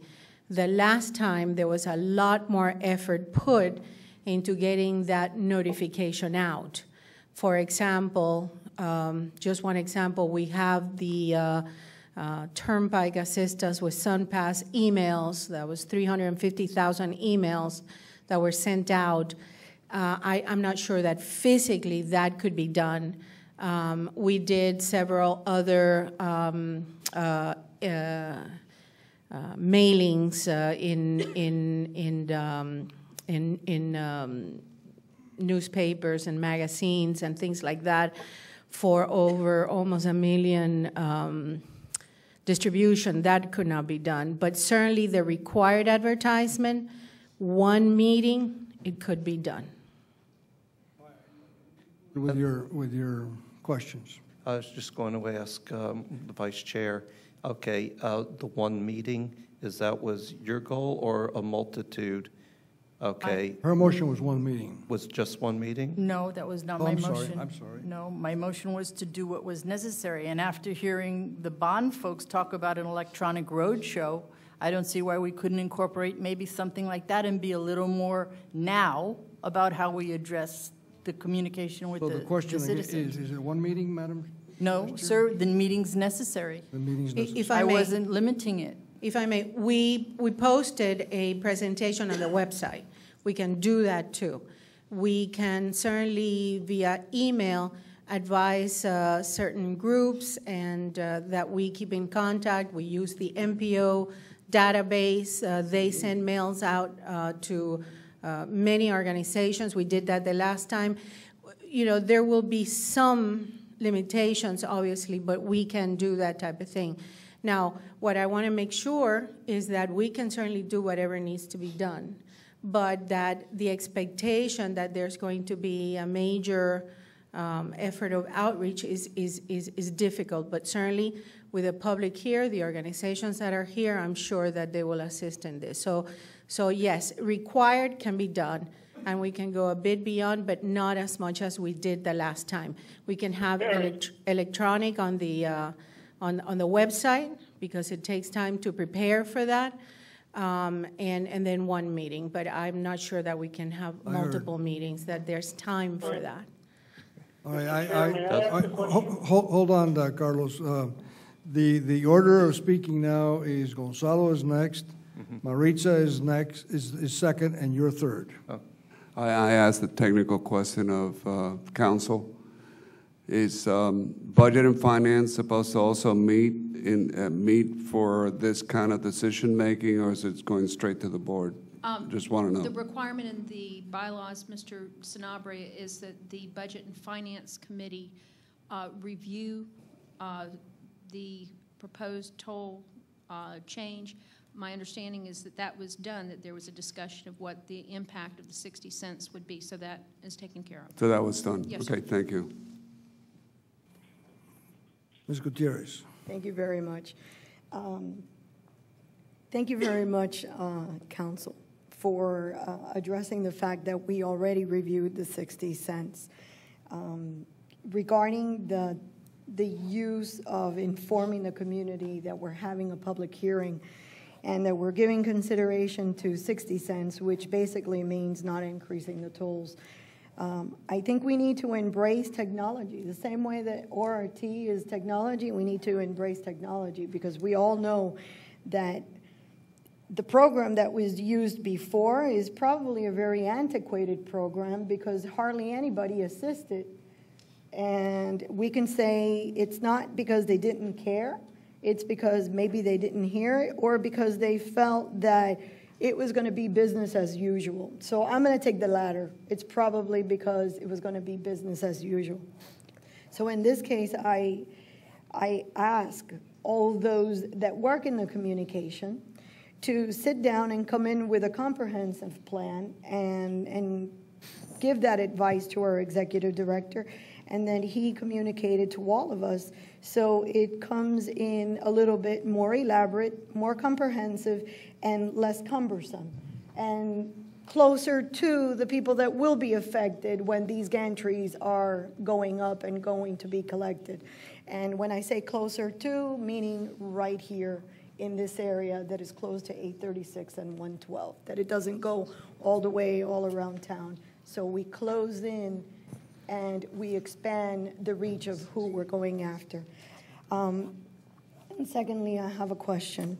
Go ahead. Now that we're embracing a hearing, so we can get to the 60 cents discussion, which means that we would then later consider a vote, which would then later be a change in the action that already took place in the last board meeting. What do we need to do in the meantime to make sure that we could do that? Do we need to call for a rescind of what already exists, or that can happen at a later date? No, uh, Member Gutierrez, the board is required to follow its bylaws and its, its adopted policies. Uh, There has been a toll rate adopted on March 19th, and that's the toll rate in effect. Uh, At any time that the board wants to modify a toll rate, it must follow its public involvement policy, it must follow its bylaws, and it must follow its toll policy.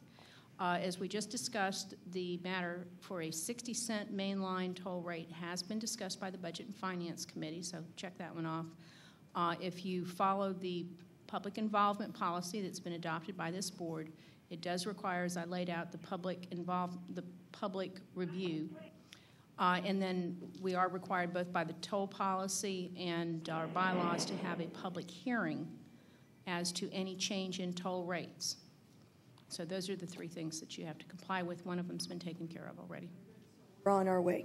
Thank you. We're on our way if it passes, obviously. Yes. Mr. Chairman, just to, since we have an expedited time frame, one suggestion may be that we do something through the internet, like a town hall meeting or something to reach as many people that can, not physically attend. They can do something via the internet from their computers and some type of communication, just to expand that because it is an expedited time frame. So for consideration, particularly to staff, that uh, when we do this outreach, we may, may want to try some type of a town hall meeting or something utilizing technology, specifically internet and people's ability to give their input without physically having to go somewhere.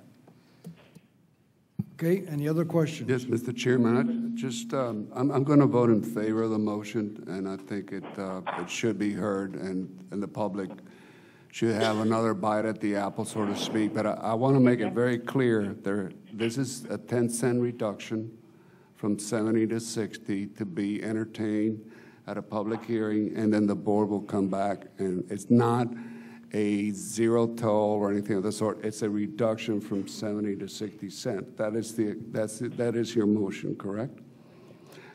A reduction from 70 to 60 cents. That was your motion. I'm talking about 836. Well, what, If I may- What was, what was, clarify your motion, if you may. Maria Luisa, could you read the motion that I made back so that it's, thank you. Is to go through the process of the 60 cent option, including the public hearings and the, For 836? for 836, go through the process of the public hearings, the public reviews for the option of 60 cents on only 836, I can read it again, I have it written. Okay. Okay, of 60 cents on 836. Wait, wait, wait, wait. Go ahead. Let, let her read it again into the record. To send out for public review for new toll rate, because we would be doing a new toll rate, lowering the toll rate that's in existence right now on all major line gantries on State Road 836 to be brought back to the board at the May 28th meeting and a resolution be created that will go out with the May board package. Uh, I'm trying to understand what that means in terms of dollars and cents, so I, I need some definition. I It was just, uh, what you went over in budget and finance today, those two comparisons. $104 million. Correct. That's the $104 million? Yes, um, sir. Okay.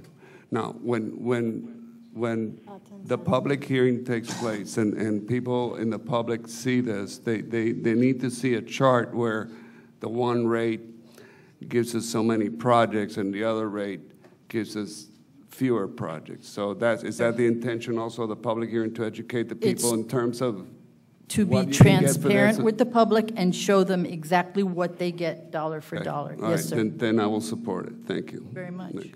Uh, Mi- Mr. Chairman, am I, am I still on the waiting line? Yes, no, Or- you're, you're, you're the next speaker. Okay. If we're going to do this, I, I ask respectfully that we, instead of hurrying it for the May meeting, that we do the appropriate thing to notify all the possible participants and extend the time frame to receive public comments beyond the May meeting and look at this at a window in June. With all of the outreach that we had, and I, I was going to ask that we get a real quick recap of, of what the actual turnout was after all that we did for the first go around.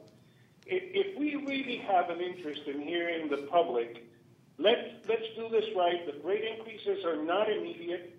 They, they, they go into effect much further down the line. Let's have an extended period to do the process of notification properly, to engage as many stakeholders as possible within the corridor, and to get the appropriate feedback from the grassroots. Because it's a real shame to hurry this for the May meeting unnecessarily. All right. Uh, You've heard uh, Carlos Fernandez's uh, recommendation. Uh, Gus? Uh, Just for a point of clarification, um, we just had a presentation regarding uh, bond refinance, and I guess there were certain representations that this committee had already endorsed an increased toll uh, amount, and that, you know, certain bondholders may have now have expectations of an increased Correct. revenue stream. I just would like to have a clarification for, from my point of view, to make sure that uh, we don't get charged with other actions that, uh, that certain municipalities get charged with Board when Member they try Pego, to if- defraud. If we could have uh, our bond counsel, Lewis Ryder, address that for us, I think that that would be the person with the most knowledge on that issue. Mr. Ryder, the chair recognizes you. Thank you. That, that's a fair point. Uh, it was disclosed in the offering document that the rate increase has passed, but we also included language uh, right after. I don't have the document in front of us. We can, I can get it, I'm sure. That said that, that any change in toll rates is subject to further revisions. So there is disclosure to that effect. Having said that, I will tell you that this is something that investors do look at. I mean, I, I- can't speak for the investors. I'll defer to the underwriters on that, but the investors do look at sort of the rate structure. Because that's their security. We're, at- we're at the question period. Are there any questions? All right, there's a request for the underwriters to, to step up and speak. I don't know how many underwriters are left. Uh, Merrill Lynch is here. Um, I, I see other underwriters in the back of the room, but that, that's something that they want to speak to the issue. Well, Lewis is, Lewis is absolutely correct. We do have those representations in the official statement. Um, But there's the concern that there's a certain time period of the underwriting period has not passed, and uh, if something would occur before, is it, What is the underwriting period? Is it 60 days or 30 days? My understanding from, from discussions with Mr. Kalpin is, is the, the, law- the securities law provides that the underwriting period is, starts on the closing, but goes, starts on the closing date and runs through either 25 days or 90 days after they've gotten rid of the bonds. My Well, understanding if is it's that- 25 days, I don't have any problem. If Right, it's and I 90 believe. days, We I- I really to- have problems. Right. My, my understanding is that the bond, the underwriters were not holding any bonds for resale on the closing date. If that's the case, it is a 25-day period. That, that, that, that deals with sort of what's called Rule 15c-12, which is disclosure. There's still the other question of a general disclosure from the standpoint of the investors of what, what you guys are doing with rates. I mean, that's, that's, there are two different issues. Well- One is the question of when this deal closed and the underwriting period for that deal post-closing, which we believe is 25 days from Well- April 23rd. All right, I would like to ask both of you, since you're, stay there, Jose. I, I- I'd like to ask the following question. Um, In the, in the State Transportation Monitoring and Oversight Report, it reports that on, uh, in March of 2013, MDX approved a tolling plan where current untold segments and so on. So in other words, it reports it here. The, we have agencies that rate our bonds. Those rating agencies uh, also have opinions. We have the investing community that also sees something where there's a flip within a 60-day period. I strongly re- recommend that we vote against this, and I ask you the question. Um, I'm asking it formally to Merrill Lynch, whether or not it is your professional opinion, and if anybody in the, in the,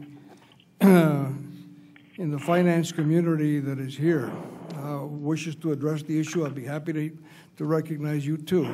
But I want your professional opinion as to whether this type of a reversal in such a short order, with that, by that I mean 60 days from March 19th to the 28th, will undo a tremendous amount of good that this MDX board has accomplished uh, and will, will further uh, seriously dampen the, the investing community's look at MDX. That's the question.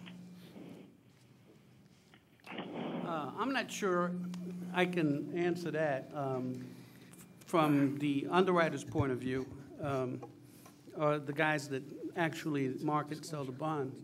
But it, you know, the, the rating agencies, when they did their review, had all this information.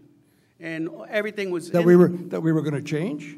Well, no, that the, um, yes, I mean, they did their review, and it was, everything was disclosed that, what, what actions the board have taken, right, Ms. Lewis? Well, wait, you're saying that the board, that the rating agencies knew that we were going to change uh, from 70 to 60 cents? No.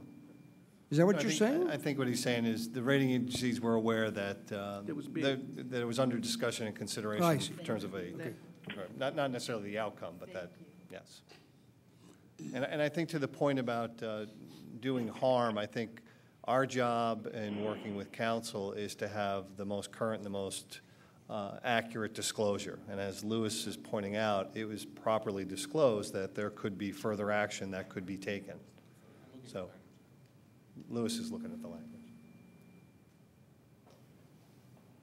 Are there any other investment bankers that want to speak to this? I'm going to recognize you in a moment. You're, you're next, then I think Maritza, and then, and, I'm sorry? Uh, I'm sorry, Mr. Guzman is next. I. I stand corrected. Mr. Fernandez Guzman is next, then you, Al.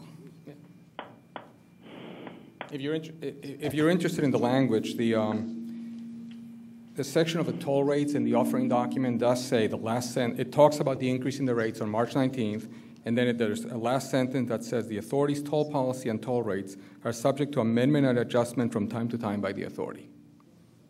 So we did, we did enclose that. Randy? Okay, Randy Topol, for Southwest Financial Advisor. While uh, you have the right to lower the tolls at any time or raise the tolls at any time after you go through the proper procedure, I can say the perception will not be as good as if you just initiated a 60 cent toll rate the first time. You're going to be going backwards.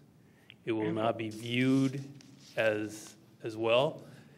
The rating agencies didn't feel like there was an action needed to take once that disclosure came out that you could review and potentially change your policy because they wanted to wait to see what action you take. Uh, I can, I can say pretty clearly that while it may not cause a downgrade, it will not be viewed as favorably as what if you would have just started off with a straight 60 cents. Now, now, during the process of marketing the bonds, during all the different conversations, when the question was asked, we, we told them what was approved and that at that point, that further discussions were going on. But as all buyers do, they'll hear that the rates were approved. So that's just something for consideration. You? Uh, Any, all right, Carlos is the next speaker. Carlos, the chair recognizes Mr. Fernandez Guzman. Well, I, I have the same concern that Randy has, and I am, I'm very, um, I'm very pleased that Gus brought it to light. The, the issue here is that you just floated a bond in the market that was just purchased by investors based on certain premises that were represented, and now, immediately after that issuance and purchase, you are now modifying the actual debt service numbers to a lower number. So I, my only point of caution is this would be no different than you applying for a mortgage and stating an income, getting approved, and then saying, oh, we made a boo-boo, the income is thirty percent less. Uh, it, it, it just, um, and you get closed on the house. It- It's just, a- it- it's a, it's a bit of an issue. All right, the next uh, questions, Al, you're next, and then um, Maritza, and Couple of then, quick questions. and then Rick. What is the potential effect of that reaction by the market? Is it, i- is it going to come to a cost of those 30, $33 million in savings that are going to go down, or, or what would be the No, effect? no, I want to clarify something first. The document that was put out had no reflection of a toll rate increase whatsoever. The implication that the board action took, we will not say that they did not imply that those revenues were going in, but we never disclosed that those revenues were there and they had them available to them. That's the first point.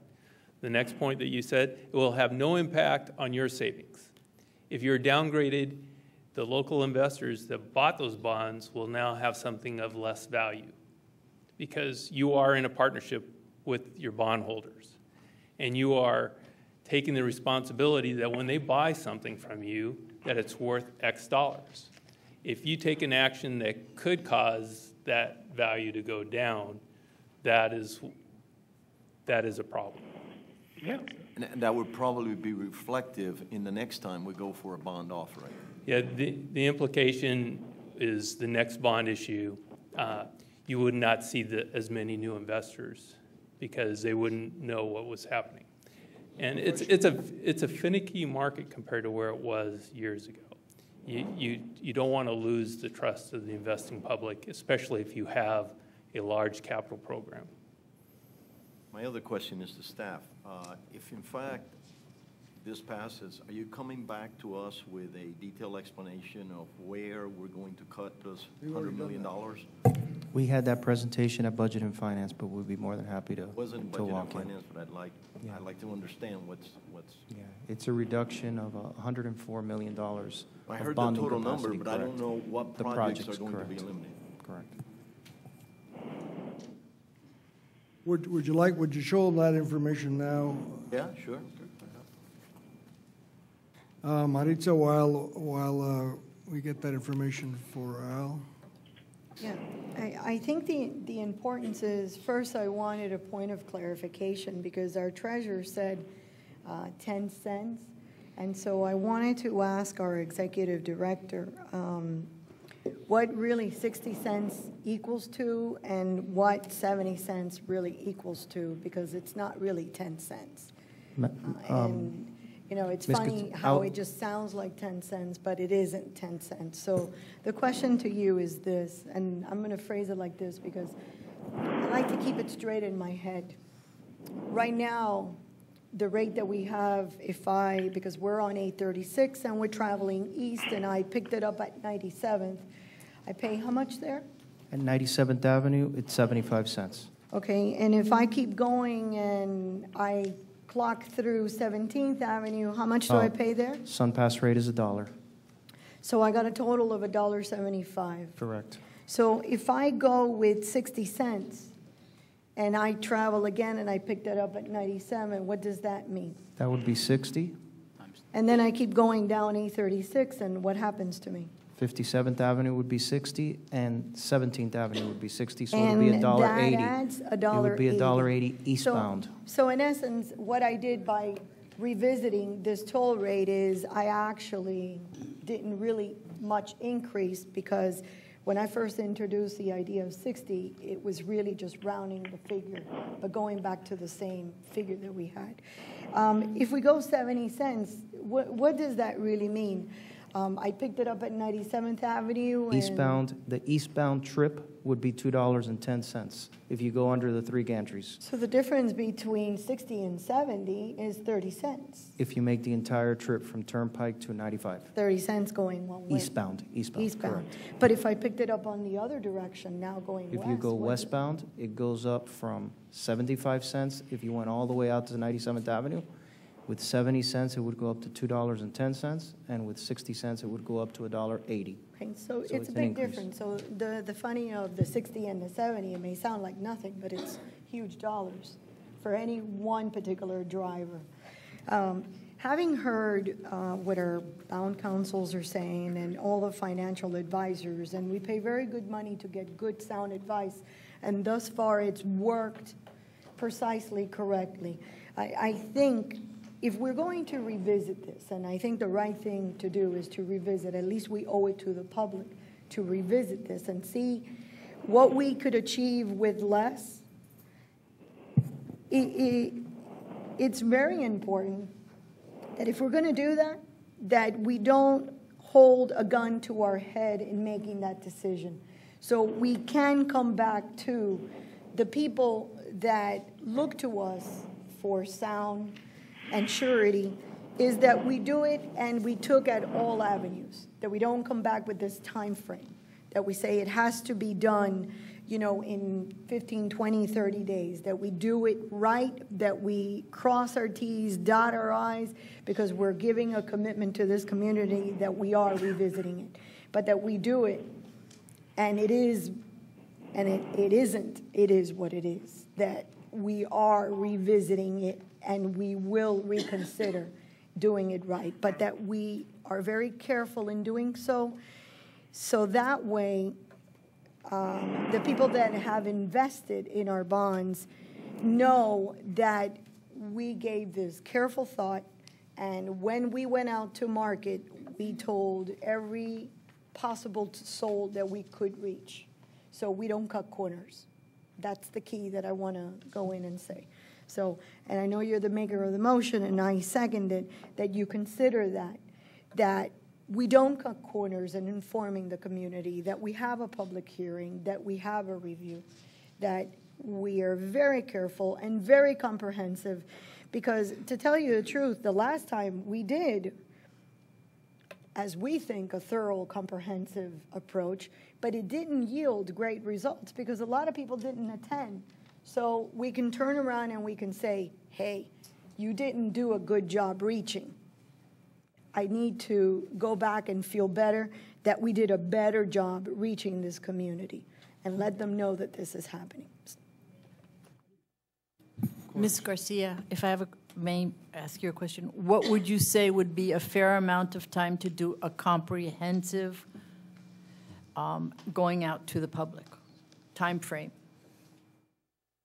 Into the record, please, into the microphone. Because I have no problem changing my motion. I was just working with the time frame that was given to me. So that, Well, I, I think that the one question that needs to be raised also is the work program, which I think it does come in May. Exactly. So I think that was the urgency of the time. Um, So, um, thank you for clarifying that, because I didn't want everyone to think I did it arbitrarily. It was based on information that was given to me. And uh, I guess the question is public notification, um, that we are calling it public outreach. I think if we want to, um, to, to um, meet the requirements of, the, of having a work program in place, um, then we could do the required. I think we can look and investigate um, uh, what other things could do, like an electronic meeting. Let me let me just make a, a clarification here. Public reviews. In public reviews, there are no presentations. What we have is, in fact, a set of all the projects that we are proposing uh, with costs. We have uh, the rates. Um, we have frequently asked questions, and we have your staff there to do uh, answer questions and provide information on a one-to-one. Um, so there's no formal presentation as there is in a webinar, as in fact as in the work program uh, public hearing that DOT District 6 uh, does or the Turnpike. So we would have to modify if you if we are to to to investigate those things. I think we can, but we have to manage expectations. But if I would uh, I would point out the issue of the work program, and then if you want an answer beyond that, I can provide that. I, I appreciate that. I just also would like to say into the record, although I truly respect our partnership with the bondholders, I also equally respect our partnership with the toll payers. All right, Rick, you're next. This is a question to uh, our counsel here. Um, um, Randy, Mr. Topol mentioned that um, the bonds would have less value. Would there be any legal implications? You know, could we potentially be at risk for some type of legal action by saying, well, it's not what you sold me? Any, I just want to discard that or put it into record for consideration. I'll, I'll go back to what our bond counsel, Lewis Ryder, said, and he quoted the language that's in the official statement, that it did note that um, toll rates are subject to change. Um, As Randy said, I think that the expectation of the um, ratings agencies is that you don't have rapid fluctuations in doing something and then undoing something. Um, Whether there would be any liability, um, I, I would probably defer to bond counsel on that, but, but I think that he's spoken to that to the extent that uh, there was disclosure in the official statement. What, what Randy, I believe, said, and I- let him correct me, it does not necessarily mean that there will be a per se downgrade, but if there were a per, if there were a downgrade, then the bonds that people bought would be worth less. That was one issue. The second issue was then when you go out for future bond issuances, that the stability and reliability of the representations of this authority might not be looked on as favorably, and so you might have a greater cost of funds in the future. Thank you. I have a, a quick follow-up, Mr. Chair. Uh, And I just might, might add, without doubt. Um, there's no precedence, in other words, uh, there's no precedence that exists where anybody's been uh, part of a, some litigation for doing what we may be considering.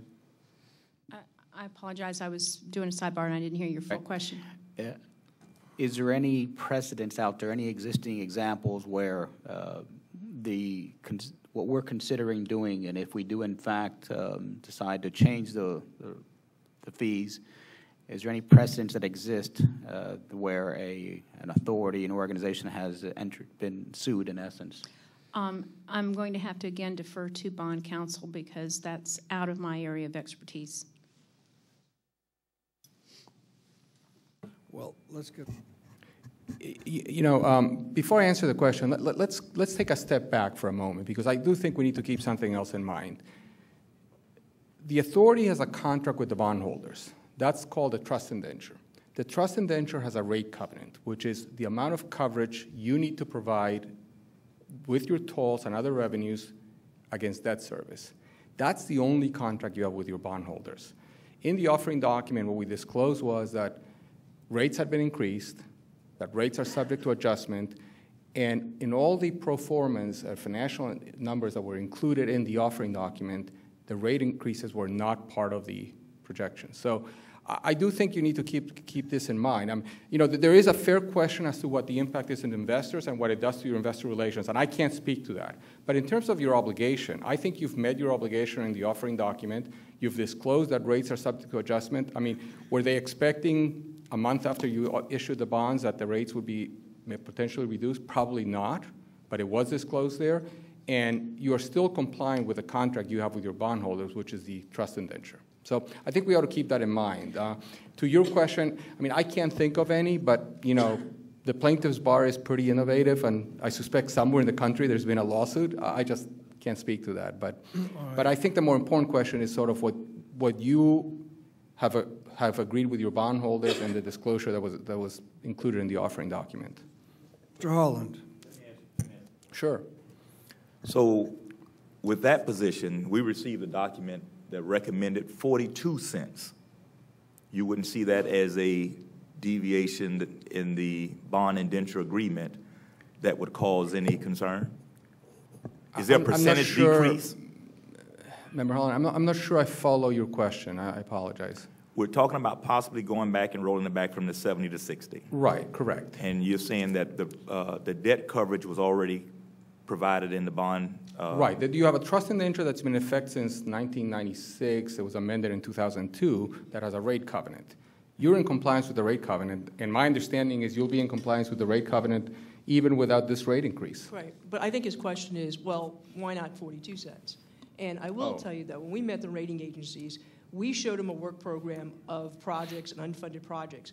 And we made representations to the rating agencies saying we would complete these projects with the additional revenue that's coming in. It's not in this financing plan. And, and, you know, the rating agencies gave us a pass.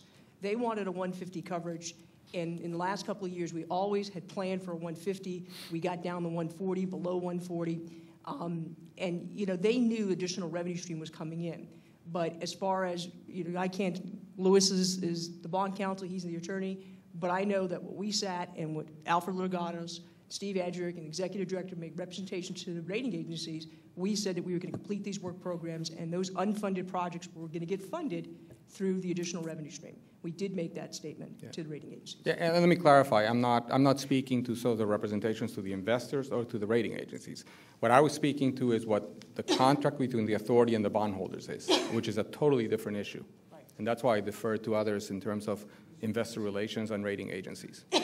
Spano, and then Ms. Gutierrez. I just would like a point of clarification. Case scenario, we go to 60 cents, we're still increasing revenue, correct? Yes. Thank you. All right, Ms. Gutierrez. Thank you. You know, that was going to be one of the questions.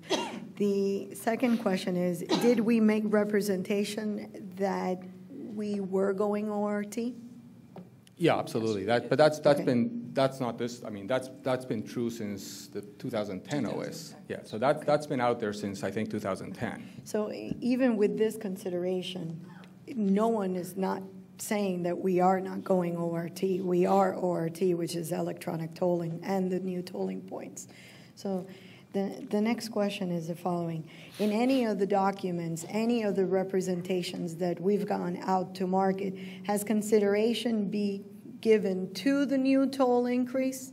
In other words, have we used those numbers, have we put them into the mix and played with those numbers in terms of, are we representing those new numbers that are supposed to come in to play next year, not this year? From a financing perspective, no, we did not. Okay. And I will tell you in public documents, a lot of investors did watch the March 19th meeting, and I personally spoke to a lot of investors. As the underwriters indicated, we had one-on-one discussion with them. So the document of the toll policy and the rate that was passed was public record to the investors.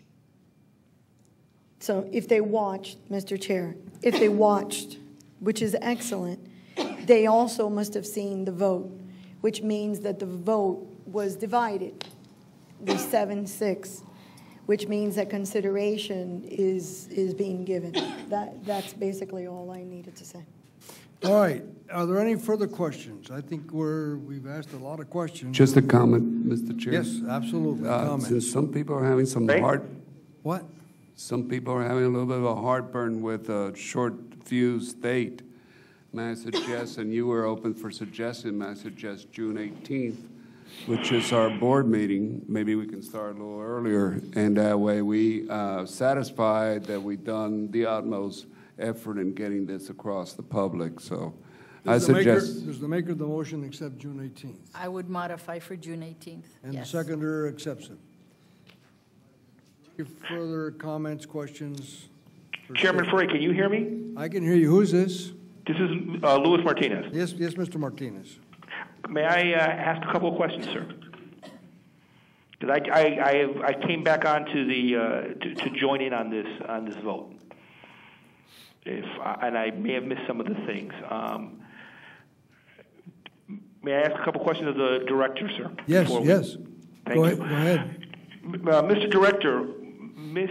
Gutierrez indicated a concern that now we're going to be obviously um, closing the entire Dolphin um, both ways. What percentage on the evaluation that you have done of our riders go the full distance back and forth, uh, west to east and east to west? Do you understand my question? Yes, of course, Mr. Martinez. Back in the workshop in October when we laid out five options, and actually, it was the basis, the, the, the- the analysis we did was the basis of the introduction of the discount program. It's roughly eight to ten percent of the, of the, of the commuters that do the entire round trip in a particular day. Most of the folks that use 836 do it in shorter segments or use it in one direction and take a different route eh, uh, in the, in the opposite peak. That's what we've seen, and that's why um, I believe the discount program was presented to address that small percentage that was going to do the entire trip, round trip.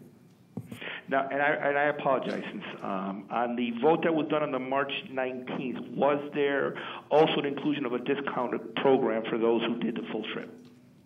And actually, it was expanded, uh, not only for 836, but for anyone who got on the MDX system, if they met minimum thresholds on, on usage, there will be a discount afforded to them. And that, that was the subject of the other vote. Okay, and that actually did pass, correct? Yes, it did. And today we received from, from, from, and I asked this to the motion, those who are in, who, who made this motion. Today we received a packet about possibly going down to 42 cents uh, per mile. Are we considering that as well in the future, or are we sticking to either what has already passed or reducing it to 70 cents, or are we going to open the door to allow what was presented to us today about 42 cents um, uh, a gantry to be considered as well? How, how are we going to deal with that issue? Because my concern, quite frankly, is I don't want to revisit this every two to three months, because we need to move forward. Mr. Martinez, as maker of the motion, I did not include the 42 cents, nor will I include the 42 cents. It's the 60 Thank you, Ms. I appreciate that. That's just Well, I don't want to so go that- back and forth either, unless my colleagues here on the board offer a suggestion to go with the 42. I, that was not in my realm of thinking. And, and the reason I asked Ms. Is I joined this a little bit late, so I wasn't sure if that had been discussed earlier. I wasn't in any way implying anything else. I just wanted that to be clear for my own, for my own mind. Thank you. I understand, thank you. Anybody else? Any other questions, Mr. Martinez? No, no, I, I, I, nothing further. Mr. Fernandez Guzman, any further questions? Mr. None. All right, are there any other questions? All right, I'm going to make a statement, and then I'm going to let you have the last word in the closing statement, uh, Madam Vice Chair.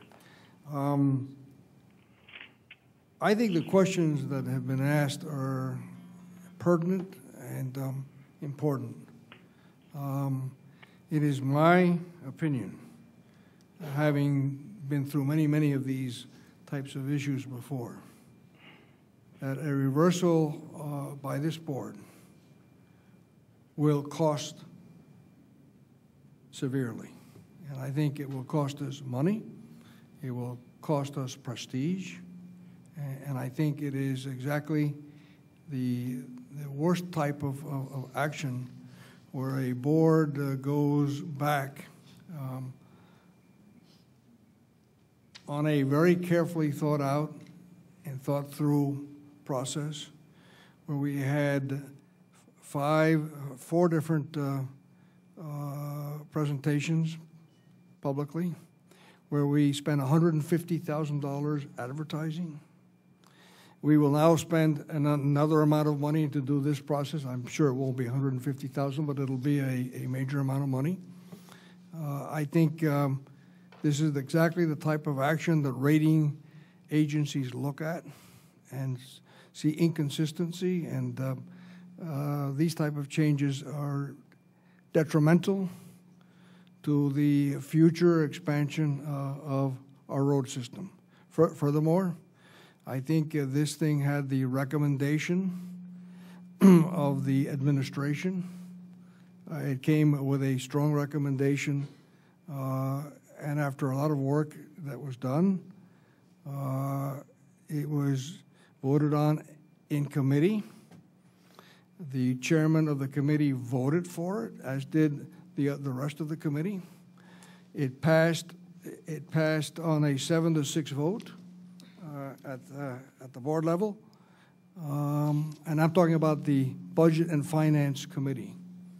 I'm not talking about any other committee. I'm talking about the, the Budget and Finance Committee. and I think that for us to be reversing in this type of a, ma- of a manner uh, is um, very problematic for the future of MDX. And that's my considered opinion. And I leave you with the last word. Thank you, Mr. Ferré. Um, It did not pass unanimously in Budget and Finance. Okay. I said- I said the chair. Okay, thank you, sir.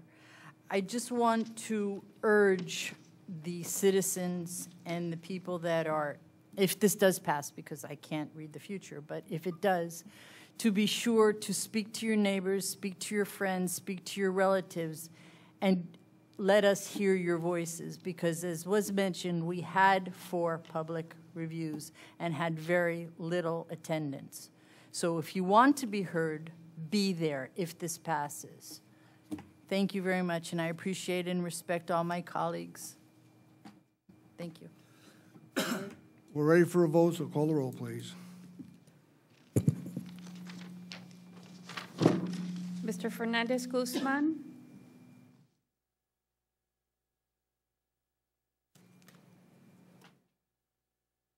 Mr. Fernandez, are you there?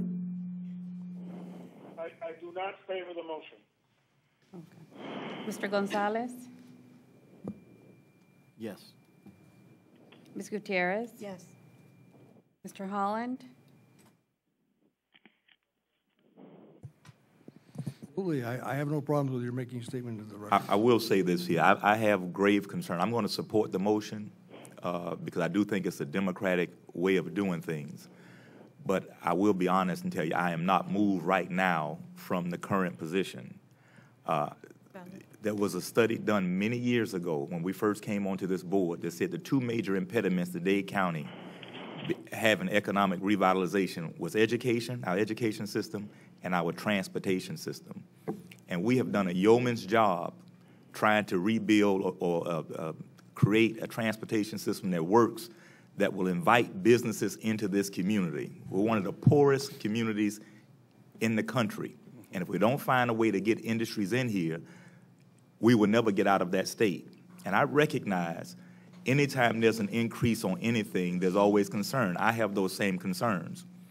But if you run two red lights in this town, it's over 300 bucks. You'll pay more running two, uh, two red lights than creating an infrastructure that will bring industry into this community that will help us move to the next generation. And that's sad because I never see the outpouring on those kinds of things. But if we don't do something, ladies and gentlemen, you won't have jobs in this community where we can move this community forward. I know every penny hurts.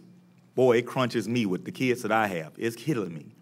But I do recognize that we have to make some sacrifice. You can't even get on a plane now. You get on a plane, it's 25 bucks for every bag you take on the plane. There's a cost associated.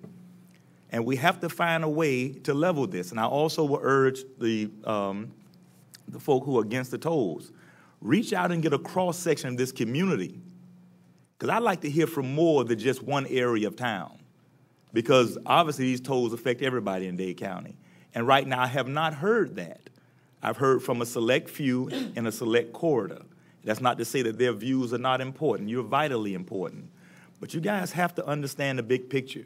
If we don't move this community forward, you're going to have the same issues you've had with Dade County with the transportation system there because nobody was ever brave enough to put the money on the table incrementally to do things.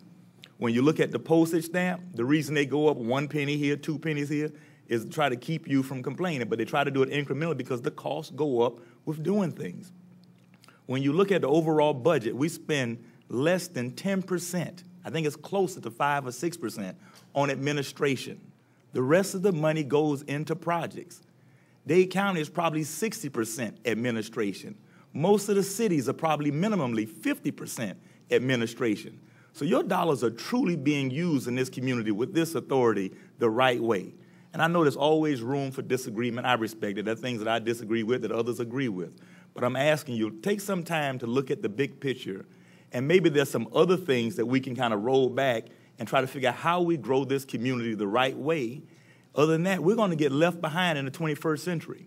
We're spending all these millions of dollars to dredge the seaport down to 50 feet, to increase industry in this community, industrial. But you know what? If your roads, if your artilleries can't handle it, what's the purpose? You've wasted that money, so all those industries still will not come here. So we have to find a way to get out of this here. And I just asked you to consider. And I had already mentioned, in fact, I was going to mention on the phone last time, Board Member Gutierrez, I had no problem with the 60%, I, I mean the 60 cents. I just kind of wanted to know what was going to come out of the budget. And since I was calling in, I didn't have the benefit of seeing that. I couldn't support your motion then. Uh, and I still have some consideration for 60 as long as we know what we're taking out. But I do have grave concern, and I recognize, and I hate to call, you know, uh, vendors on the carpet, but the investment bankers and, and, and some of the other folk, because they have to come back to us sometime to compete, I don't know if sometimes they can be candid. I like people to be candid with me on the record. I've always explained that to people. Whatever the issue is, put it on the table. Let's not sugarcoat it. If you think this is going to hurt our bonds, we've had that situation with the city of Miami where their bonds have eroded to the point nobody trusts them oftentimes when they put bond issuances out. We have to create the faith and credit with people that they're willing to trust us when we do something. And so I want you to take all those things into consideration when we come back, because if it's just a move to just to get it to 60% without a true dialogue of where we're going in this community, it's all waste of time. And it becomes just a show. And I don't think any of the members here are for that. I'm, I'm not trying to call any member out on that. I know they're very sincere people here who uh, want to move this community forward. But I want everybody to understand it's a tough situation being in this position. You know, and you get badgered when you're trying to do what's right. And I'm sure Mayor MacDougall would tell you the same thing. No matter what he does as a mayor, there's somebody in that community who thinks he's horrible. It's the nature of the beast. But what are we going to do to move this community forward? And I, that's, the, that's the kind of communication and dialogue I want to have on transportation if we're going to move into the 21st century and be competitive and create a job base and some economic development here. We spend more on a stadium than we would on infrastructure that will employ people and bring industries into this town. So to me, it's a, it's a rough picture, but I will support the motion for purposes of uh, democracy. All right, continue the roll call. Yes, sir. Mr. Martinez? Mr. Martinez? Martinez? I'm on the phone. Yes. We're, uh, we're calling the roll. Are you voting? I know, I said yes. Oh, I'm sorry. Mr. right. Pago? Mr. Sanabria? Okay, uh, again, I'm sorry, I do need to make a statement as Go well. ahead. Thank you. Uh, uh, What, what are you saying about the workshop? That, that, um, If I may, I just want to Yeah, point i- clarification. If I may, for point of clarification, the existing, and this is more of a process issue, I was going to wait till after the, after you decide and give us direction. But from a process standpoint, a work program is built for 70 cents based on action taken by the board last month. The board is instructing us to go out with 60 cents. We know what those impacts are. On 836. On 836, understood. And that's what the analysis that was shown on the $403 million bonding capacity. But from a process standpoint, I still have to deliver a work program to the MPO, and the approval of that has to be in the June uh, MPO meeting, okay? I, I also have to, I also have to commit, and this board has heard this, I have to commit on the partnership, the joint participation agreement with Florida's Turnpike and District 6 on the 874 extension. That's not an action I can wait on. Now, either 60 or 70, that would have to be a project that would be a priority. And if it isn't, I need to know because then I have to pull back on that project. The other comment that I would make is that we have a budget workshop coming in at the end of this month. And that budget is developed to support the activities of the agency. Based on this issue, I will have to, I will have to pare it down, and then we can amend it at, an, at a later date, but I will have to pare it down. Those are just process issues. A- And in addition, I want to say that I passed out a memorandum to you, and obviously, there's no use going into a strategic plan if we don't know exactly where we're headed. So that also will be postponed until uh, the the decision is made, unless there's further, you know, motions to, to cut it further. Uh, Mr. Chairman, I'd just like to make a short statement out of deference to Vice Chair Fano and Ms. Gutierrez, who've been the most vocal about uh, the toll reconsideration.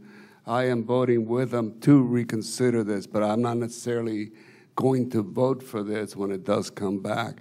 I want them to have a chance at the public level as well, saying that uh, they didn't have the chance as well to again reach their community and come back. But I'll tell you this.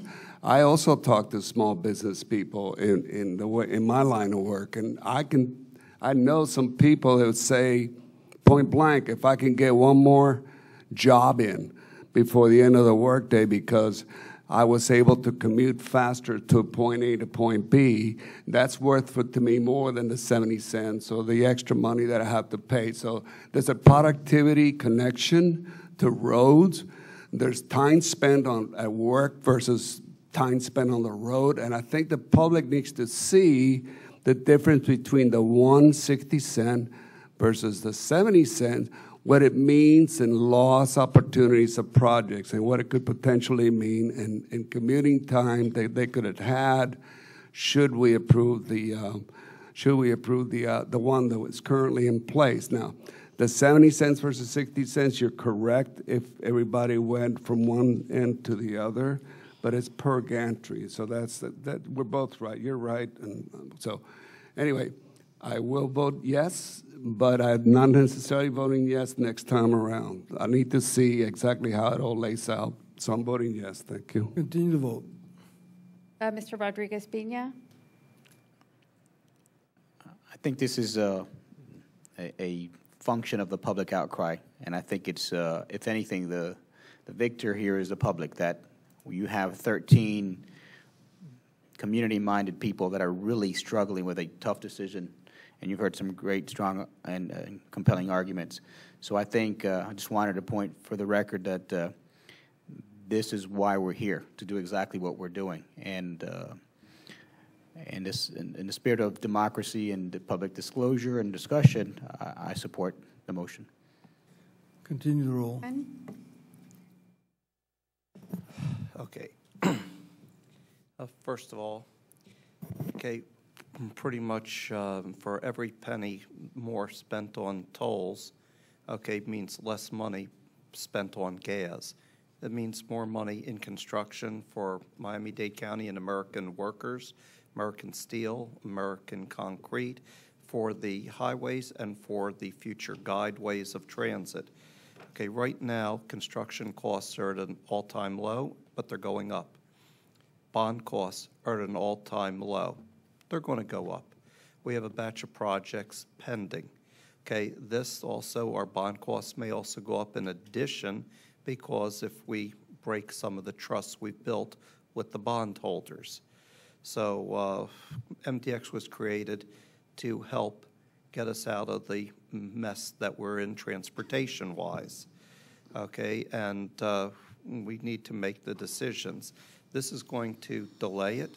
Okay, I understand, you know, getting the community impact, uh, community input, excuse me, and the impact on the community. Okay, the jobs that this would create, hmm, there's a lot of them.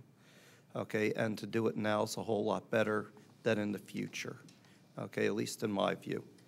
Uh, for that being said, um, I'm going to have to vote against this motion. I know I'm in the minority here, and I know it's already passed. I could count the votes. But uh, I think we need to get moving. I've been on this board for, since I helped create it. I've been on it at the beginning, little gap in the middle. But uh, we've done a few things, widened some roads, did some landscaping, added a little extensions here and there. But the mass of things that need to be done, okay, that are coming up, this may seriously delay a lot of those future projects that are not in this work program, but when the PD&Es are done, should be. And we're going to have to pay that price in the future. Okay, so you have my vote. All right, so that concludes the, so tell us the result of the vote. Yes or no? Oh, oh I'm sorry. How did you vote, Mr. Wortman? But again, against the measure. Who Against. hasn't finished? Uh, Vice Chair Fano? Chair Ferré? No. Motion passes. Mr. Pecos already voted. He, he voted yes. So, to announce what, what the final vote was. Oh, it would be three, three noes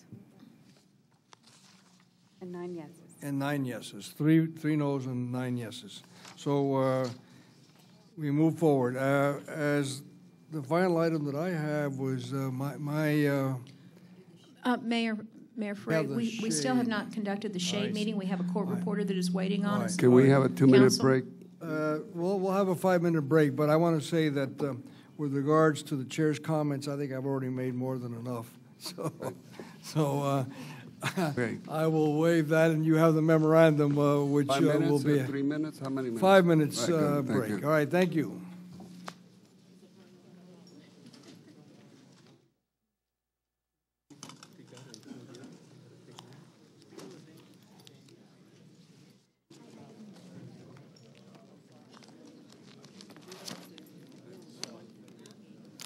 Besides uh, Executive Director Javier Rodriguez will be Steve Andriuk and Francine Steelman.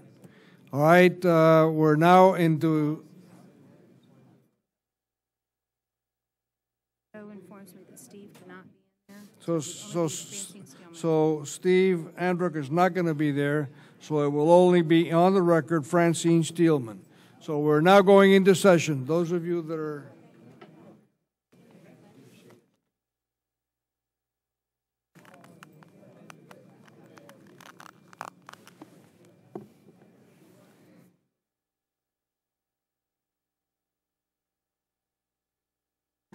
Um, Just need to wait till the court reporter. Tell me when the court report is ready. Conclusion of attorney-client session. I will now reopen the public meeting. Is that what, is that what I have to read into the record? The board meeting, I'm sorry. I will now reopen the board meeting. Is that correct? Is that it? That's it. Okay. Now, is there a motion for adjournment? All those in favor of adjournment? Anybody that wants to keep on talking? To all. Thank you, Chairman, for, uh, Yeah, yeah, yeah. you said you wanted to come by tomorrow? Yeah, tomorrow's fine. Okay.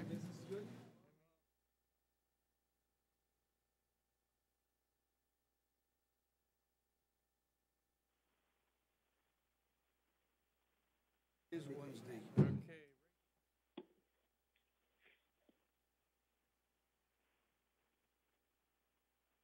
No, no, no, hold on, hold on, hold on. Let, let me open up my calendar.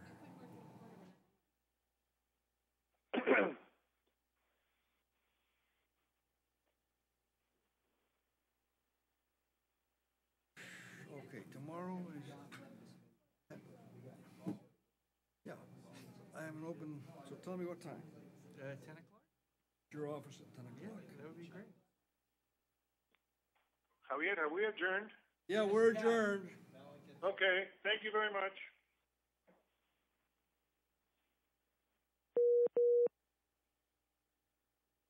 Uh, I know, I know How where. long do you think you need? No, I don't think an hour. Half an hour to forty-five. Okay, I'll